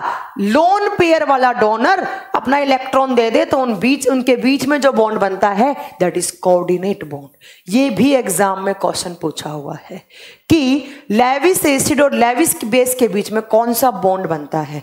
आप बताएँगे कोऑर्डिनेट बॉन्ड या उपसह संयोजक बंध ये कोऑर्डिनेट बॉन्ड वगैरह केमिकल बॉन्डिंग में हम वापस पढ़ेंगे, अगर नहीं समझ में आ रहा है, कोई बात नहीं, छोड़ दीजिए। ठीक है? हो गया। ये मैंने यहाँ पर, इसको मैंने वापस रब कर दिया। अब मैं एग्ज़ाम्पल की बात कर रही थी। हमें यहाँ पर एग्ज़ाम्पल लिखने हैं। तो चलिए एग्ज़ाम्पल लिखना स्टार्ट करते हैं। पहला एग्ज़ाम्पल मैंने बता दिया। नेक्स्ट है आपका बी एफ़ थ्री क्या आप मुझे बता सकते हैं? बी एफ़ थ्री और इस हाइड्रोजन में एसिड कौन सा हुआ? बेस कौन सा हुआ? सेम वही है। बी के पास एक लॉन पेयर है। डोनेट कर देगा। डोनर क्या होता है आपका? बेस एक्सेप्ट करने वाला क्या होता है आपका? लेविस एसिड ठीक है? आप बता देंगे? चलिए। अब आप बता देंगे। बी एफ़ थ्री मैं किधर लिखूं? तो मैम बी एफ़ थ्री जहाँ पर आपने एन एस थ्री लिखा है, वहीं पर क्या हो जाएगा? हमारा बी एफ़ थ्री आ जाएगा। ये सारे के सारे आपके एग्ज़ाम्पल आप कहाँ पे लिख सकते हैं? लेविस बेस के अंदर बी एफ़ थ्री कहाँ आ गया? एक्वारीजे बताएँगे हम एक्वारीजे बताएँगे डोंट वेरी तो इसका बी एफ़ थ्री क्या हो जाएगा? यहाँ पर अगेन बेस हो जाएगा. तो ऐसे ही आपको जो पीडीएफ मिलेगी, उसमें आपको कुछ एग्ज़ाम्पल मिलेंगे. टाइम वेस्ट नहीं करना, अगर थोड़ी समझ में आ गई तो मुझे लगता है एग्ज़ाम्पल आपको वैसे ऑटोमेटिकली समझ में आ जाएँगे, आप निकाल लेंगे. तो यहाँ एग्ज़ाम्पल में आपको एक पीडीएफ दूँगी, उसमें आपको मिल जाएँगे. लेविस एसिड के एग्ज़ाम्पल और लेविस बेस के एग्ज़ाम्पल बस यहाँ पर आपको इतना ही कॉन्सेप्ट या इतनी ही आपको थ्योरी यहाँ पर याद करनी थी. अब इतनी सारी डेफिनेशन होगी एसिड बेस की। बता देंगे। हाँ एच एसिड है बी एफ़ थ्री क्या हो जाएगा यहाँ पर? बेस हो जाएगा। ठीक है, बिल्कुल सही बोला आपने। और बाकी के एग्ज़ाम्पल आपको पीडीएफ में मिल जाएँगे। अब अपने ऑटोमेटिकली अगर थोड़ी समझ में आ गई है तो आप निकाल लेंगे। चलिए नेक्स्ट चले आप। नेक्स्ट चले? चलिए। नेक्स्ट आपको चलिए भाई, एक बच्चा पूछ रहे हैं ma'am only one doubt battery में डिस्टल्ड वाटर के साथ सल्फ्यूरिक एसिड को ज़्यादातर यूज़ क्यों किया जाता है? क्योंकि बेटा, इसका आंसर है, मुझे बच्चे का नाम दिखाओ। बच्चे का नाम दिखाओ जल्दी से। आदित्य सिंह मुझसे यूट्यूब पे पूछ रहे हैं कि मैम बैटरी एसिड में देखिए, एक बच्चे का डाउट है बैटरीज में बैटरी कौन सी? Lead storage battery lead storage battery में डी डब्ल्यू डी डब्ल्यू क्या होता है? डिस्टिल्ड वाटर डिस्टिल्ड वाटर के साथ सल्फ्यूरिक एसिड यूज़ होता है। मुझसे बच्चे ने पूछा है, मैम, सल्फ्यूरिक एसिड यूज़ में क्यों लेते हैं? सल्फ्यूरिक एसिड यूज़ में लेने का मतलब होता है, sulphuric acid di basic nature का होता है। डाई बेसिक नेचर का होता है। अब मैम, ये डाई बेसिक क्या होता है? तो आदित्य जी, आपको अगली क्लास में आज तो नहीं हो पाएगा। Di basic mono basic tri basic सब आपको समझ में आएगा। इसका रीजन है, ये डाई बेसिक नेचर में होता है, इसलिए इसको बैटरीज में यूज़ में लिया जाता है। अब क्या होता है डाई बेसिक मोनो बेसिक अभी आपको 15 से 20 या आधा घंटे की क्लास में आदित्य जी आपको समझ में आ जाएगा। ठीक है? चलिए। अब नेक्स्ट हम चलते हैं। कुछ एसिड्स के टाइप पढ़ने जा रहे हैं हम। उसके बाद हम कॉन्जुगेट एसिड वगैरह पूछेंगे, ठीक है? अभी हाँ सिद्धार्थ शर्मा, आप क्वेश्चन पूछ सकते हैं मुझसे। बिल्कुल पूछ सकते हैं, ठीक है? चलिए, देखिए, अब हम टाइप्स ऑफ़ एसिड पढ़ने जा रहे हैं, क्योंकि यहाँ से क्वेश्चंस बनते हैं। तो लिखिए टाइप्स ऑफ़ एसिड्स या अम्ल के प्रकार, या अम्ल के प्रकार। मैम प्लीज़ बाई कैसे करें? हाँ मैं बता देती हूँ, अगर आपको हमारा साइंस स्पेशल का बैच परचेज करना है तो आप हमारा टाइम्स कोचिंग का प्ले स्टोर से ऐप डाउनलोड कीजिए। वहाँ पर आपको सारे बैचेस मिलेंगे। आपको जीएस स्पेशल साइंस स्पेशल आपको वहाँ पर मिलेगा मैथ स्पेशल इंग्लिश स्पेशल सारे बैच मिलेंगे। या आप हमारी वेबसाइट पे जाइए W Times coaching dot in की वेबसाइट पे। यहाँ पर आपको बीच में कॉमेंट पे मिल रहा होगा, वहाँ से आप देख सकते हैं। ठीक है? मैम आप बुक बता दीजिए। बुक बताएँगे धीरे धीरे बताएँगे। बहुत इजी लग रहा है। थैंक यू मैम चलो बहुत बढ़िया। ऐसे ही आपको केमिस्ट्री इजी लगेगी ऐसे ही आप केमिस्ट्री पढ़ लेंगे पूरी। ठीक है? साइंस स्पेशल बैच ज्वाइन करना है तो प्लीज़ आप वो आप आ, यूज़ कर सकते हैं वो आप वहाँ से ले सकते हैं। ठीक है? प्लेटफॉर्म बुक सिद्धार्थ शर्मा कह रहे हैं, मुझे सिद्धार्थ शर्मा का डाउट बताइए। बट दूसरे टॉपिक है इसे नाराज़गी हो गई थी। नो नो नो मैं कोई नाराज़ नहीं, बच्चों से कभी टीचर नाराज़ नहीं होता है। चलो, लिखे? टाइप्स ऑफ़ एसिड स्टार्ट करें। अम्ल के प्रकार, अम्ल के प्रकार। सबसे पहला एसिड सबसे पहला एसिड यहाँ पे लिखना है आपको ऑक्सी एसिड सबसे पहला आपको लिखना है ऑक्सी एसिड ध्यान से सुनिएगा इनके एग्ज़ाम्पल आपसे पूछे जाते हैं। हिंदी में बोलेंगे ऑक्सी अम्ल अब आप में से कुछ बच्चे सोच रहे होंगे ऑक्सी मतलब ऑक्सीजन होने वाला एसिड नहीं। ऑक्सी एसिड किसको बोलते हैं? एस, ऐसे एसिड्स जिनमें ऑक्सीजन और हाइड्रोजन दोनों एलिमेंट हो। ऐसे एसिड्स जिनके अंदर जिनके अंदर हाइड्रोजन और ऑक्सीजन दोनों एलिमेंट हो, आप क्या बोलेंगे उनको?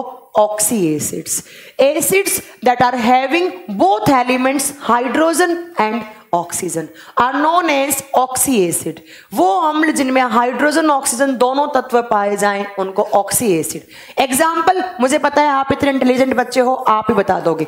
जल्दी बताइए, कौन सा एसिड लिखूं? H N O three hydrogen आ गया ऑक्सीजन आ गया. किसका एग्ज़ाम्पल ऑक्सी एसिड का. Next example H two S O four hydrogen आ गया ऑक्सीजन आ गया. किसका एग्ज़ाम्पल बनेगा? ऑक्सी एसिड का। HCl नहीं होगा मैम नेक्स्ट एग्जांपल H3PO4 क्या बोलते हैं इसको? H3PO4 PO4 का नाम क्या होता है? फोस्फोरिक एसिड क्या बोलते हैं इसको? फोस्फोरिक एसिड फोस्फोरिक अम्ल। और एक होता है H3PO3 इसको बोलते हैं फोस्फोरस एसिड दोनों अलग अलग हैं। इसको क्या बोलते हैं? फोस्फोरस एसिड थ्री को। और ये फोस्फोरिक एसिड यहाँ पर भी ऑक्सीजन आ गया हाइड्रोजन आ गया। यहाँ पर भी ऑक्सीजन आ गया हाइड्रोजन आ गया। किसका एग्ज़ाम्पल है? अरे एनएच प्रमोद सारी रात रामायण पढ़ाई, सुबह उठ के पूछते हो, सीता किसकी मम्मी थी? बेटा, कब से बता रही हूँ एनएच में ओएच आता है ओएच इज़ बेस बेस होता है एनएच कहाँ से ले आए आप यहाँ पर? ठीक है? चलिए नेक्स्ट एग्जांपल और बताऊँ तो मैं आपको H3BO3 एग्जांपल H3BO3 क्या बोलते हैं इसको? बोरिक अम्ल, जो आँख आँख बना, आँख के अंदर इंफेक्शन हो जाता है तो आँख को धोने के लिए, हमारी आईज वॉश करने के लिए हम बोरिक एसिड उन दवाइयों में आई ड्रॉप में आता है। ठीक है? यहाँ पर H आ गया ऑक्सीजन आ गया। इसको बोलते हैं बोरिक एसिड बोरिक अम्ल, जो मतलब आँखों में इन्फेक्शन हो जाता है, जो आई ड्रॉप डालते हैं। आई ड्रॉप की बोतल के ऊपर देखना दिखाओ मिलता है बोरिक एसिड उसको बनाने में काम में आता है। ठीक है? अब आपसे एग्ज़ाम में चार ऑप्शन देगा, पूछेगा इनमें से कौन सा ऑक्सी एसिड है। आपको एग्ज़ाम्पल पता होना चाहिए, जिसमें ऑक्सीजन हाइड्रोजन दोनों एलिमेंट आए दैट आर ऑक्सी एसिड ये क्या है? सल्फ्यूरिक एसिड जो बच्चे कॉमर्स बैकग्राउंड से मैं इनके नाम बता देती हूँ। Sulphuric acid nitric acid H N O three H three P O four लगा हुआ है, फोस्फोरिक अम्ल। एच थ्री पीओ थ्री हो जाएगा, phosphorus acid. H three B O three boric acid. वो एसिड जिनके अंदर क्या हो? मैम, जिनके अंदर हाइड्रोजन, ऑक्सीजन दोनों हो। क्या बोलेंगे? Oxy acid. ठीक है? चलिए नेक्स्ट चलें दूसरे टाइप के एसिड पे।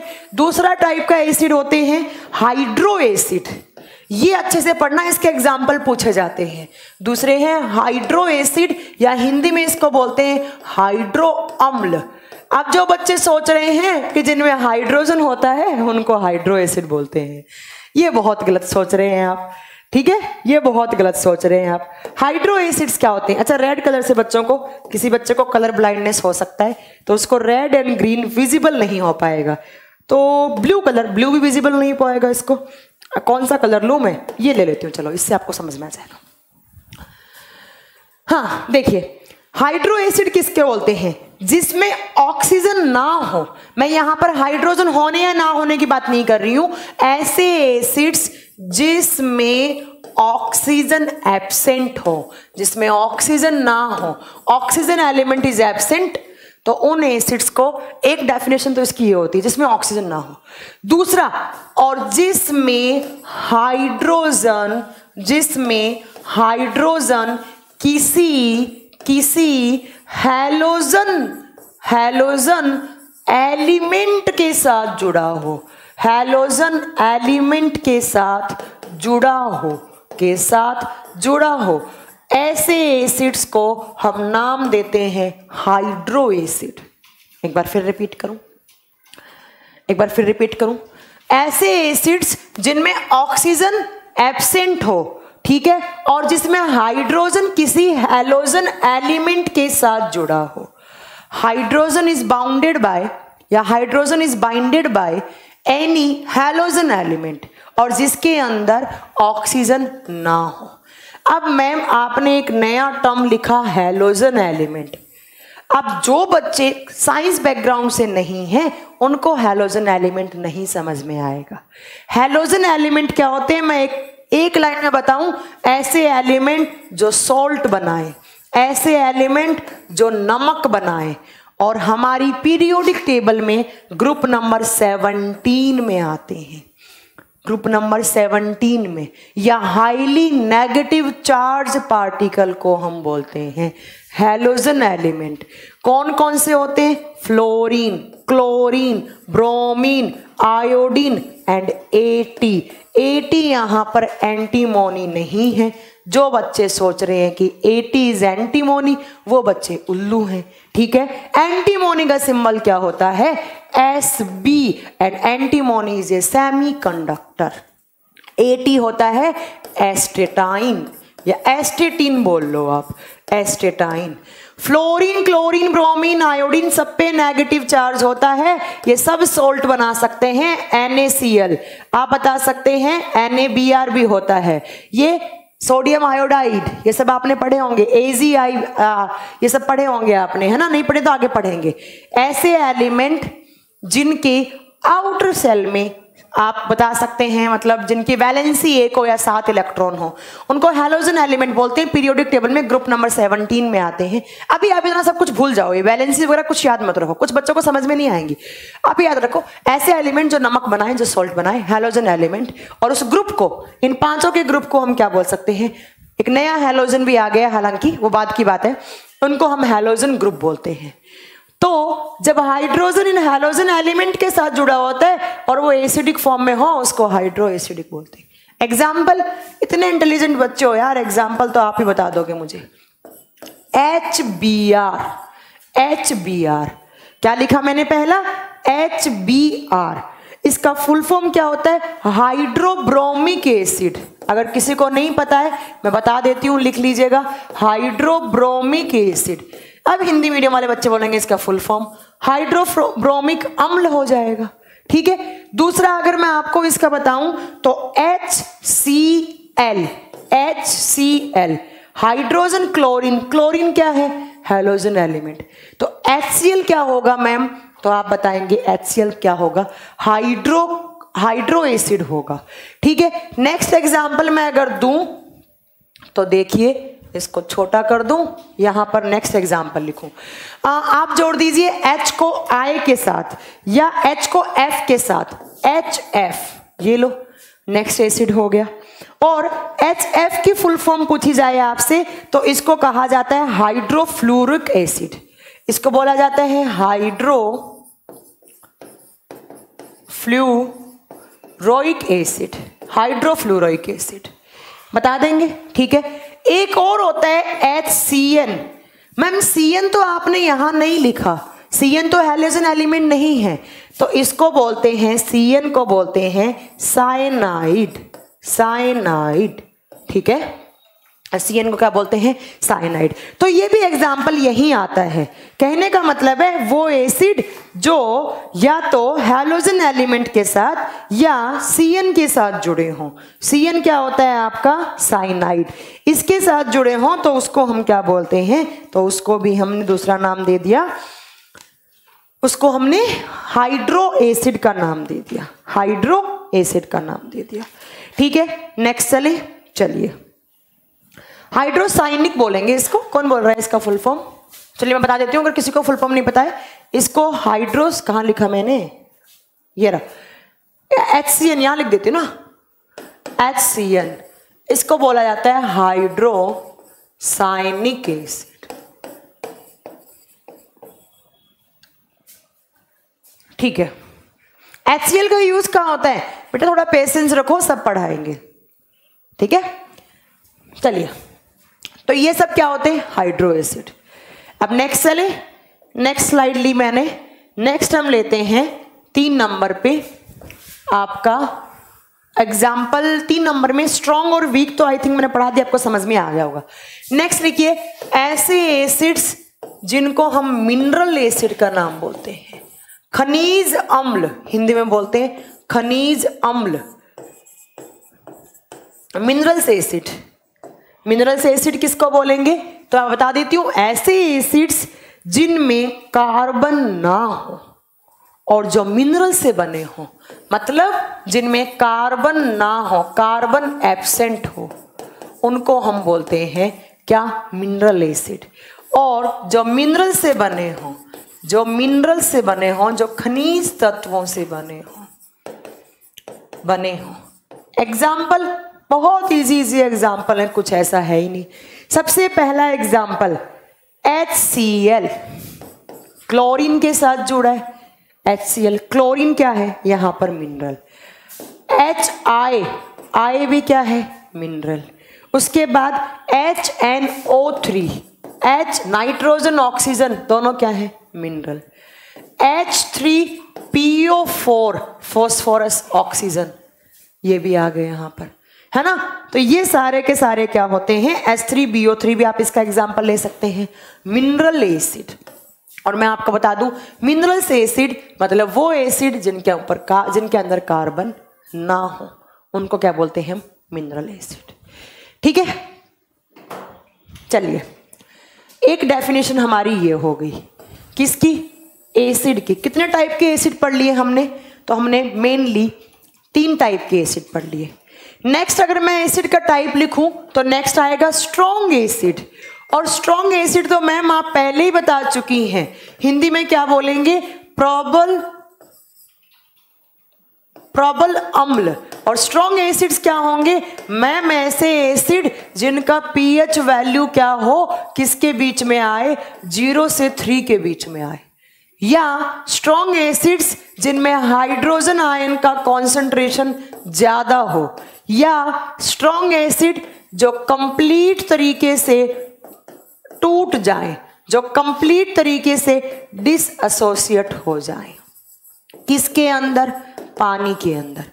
कोई भी डेफिनेशन बोल लो पीएच वैल्यू कम वाले हाइड्रोजन ज़्यादा होने वाले, या कंप्लीट तरीके से ब्रेक डाउन होने वाले, क्या बोलते हैं? Strong acid example H C L H N O three H two S O four ये सब स्ट्रॉन्ग एसिड अगर वीक एसिड की बात करूँ तो वीक एसिड वो एसिड जो इसका जस्ट ऑपोजिट हो.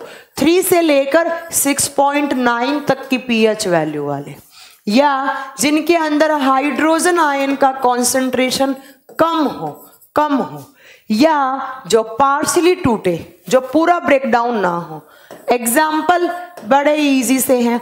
Oxalic acid lactic acid carbonic acid acetic acid ये सब मैं आगे आपको वापस पढ़ाने वाली हूँ. कितने टाइप के एसिड बता दिए मैंने? पाँच टाइप के एसिड और कितने टाइप की एसिड बेस की डेफिनेशन बताई मैंने? तीन टाइप की. मेनली तीन टाइप की, जो आपका किसने बताया था? साइंटिस्ट लोगों ने बताया था. ठीक है? इतनी बातें आपको पढ़नी थी आज की क्लास में। अब नेक्स्ट मैं कल यहाँ से स्टार्ट करूँगी basicity of acid basicity of acid अब ये बेसिसिटी क्या होता है? हाँ? अम्लों की अम्लों की क्षारियता। अम्लों की क्षारियता। ये हम नेक्स्ट क्लास में पढ़ेंगे। आज के लिए इतना बहुत था। है ना? आज हमने क्या क्या पढ़ा? एसिड बेस के बारे में कुछ नॉर्मल चीज़ें पढ़ी हमने, जिसमें हमने क्या क्या पढ़ा कि भाई एसिड्स बेस किसको बोलते हैं? आर जी ने क्या बोला था? ब्रॉन्स्टेंड लोरी ने क्या बोला था? और लेविस ने क्या बोला था? एक बच्चा कह रहे हैं, मैं मज़ा आ रहा है चलने दो क्लास भैया, तुम्हें तो मज़ा आ रहा है, पर हम तो सुबह आठ बजे से क्लास ले रहे हैं। हमें तो नहीं आ रहा है? हम तो थक गए। चलिए, अब कुछ बच्चों के डाउट हैं तो आप मुझसे डाउट पूछ सकते हैं, किसी भी डाउट का डाउट हाँ इसी चैप्टर का। अब ये नहीं है मैंने पढ़ाया एसिड बेस्ड सॉल्ट है, और तुम डाउट पूछो मुझसे रेडियो एक्टिविटी के। वो तो प्रैक्टिकली पॉसिबल नहीं है ना, बताना। चलिए। ऑनलाइन क्लास का टाइमिंग क्या है? जो बच्चे जानना चाहते हैं मेरे बैच के बारे में बता देती हूँ। हमारा बैच टाइम्स कोचिंग पे साइंस स्पेशल वन एकदम कंप्लीट हो चुका। जून में साइंस स्पेशल टू एक वीक के बाद कंप्लीट होने वाला है।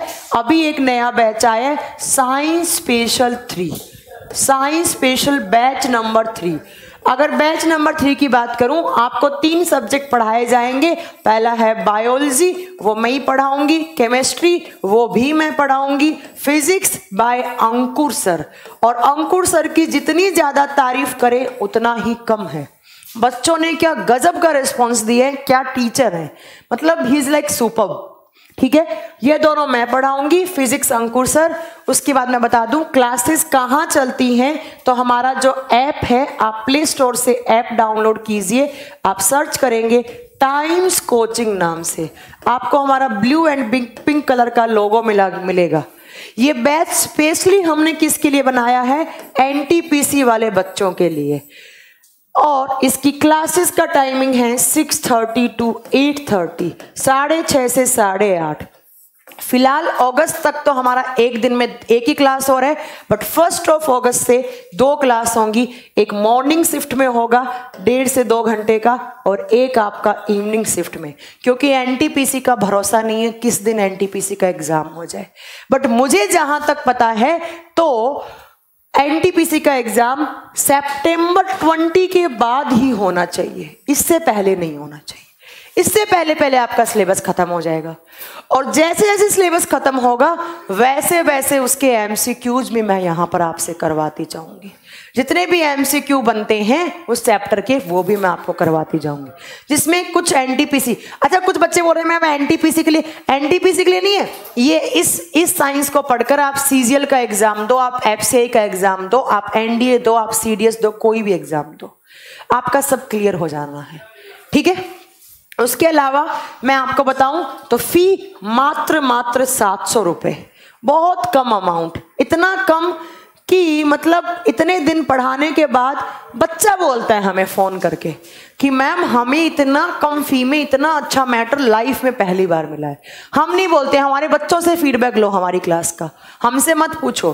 फ़ी मात्र seven hundred rupees seven hundred और आप वेबसाइट से भी हमारा बैच परचेज कर सकते हैं W W dot W W dot Times coaching dot in फ़िलहाल तो आपका ये जो क्लासेस है, वो एंड्रॉयड ऐप पे चलेगा बट बहुत जल्दी हम लोग लैपटॉप पे भी क्लासेस लेकर आएँगे। वापिस वेबसाइट के थ्रू भी आप क्लासेस देख पाएँगे। थोड़ा सा टाइम दो, कुछ काम चल रहा है हमारा टेक्निकली वो काम हो जाएगा तो आप लैपटॉप पर भी विजिबल आपको क्लासेस हो जाएँगे, आप लैपटॉप पर भी देख पाएँगे।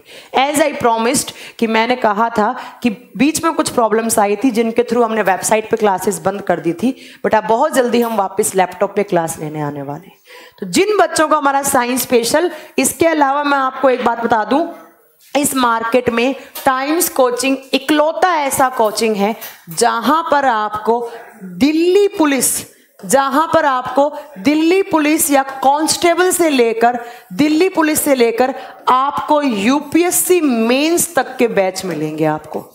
इस मार्केट में इकलौता ऐसा कोचिंग है जहाँ पर आपको सिविल सर्व सिविल सर्विसेज़ के मेंस वाले जो पेपर हैं, वन एंड थर्ड, दोनों के लिए आपको यहाँ पर बैच मिलेंगे।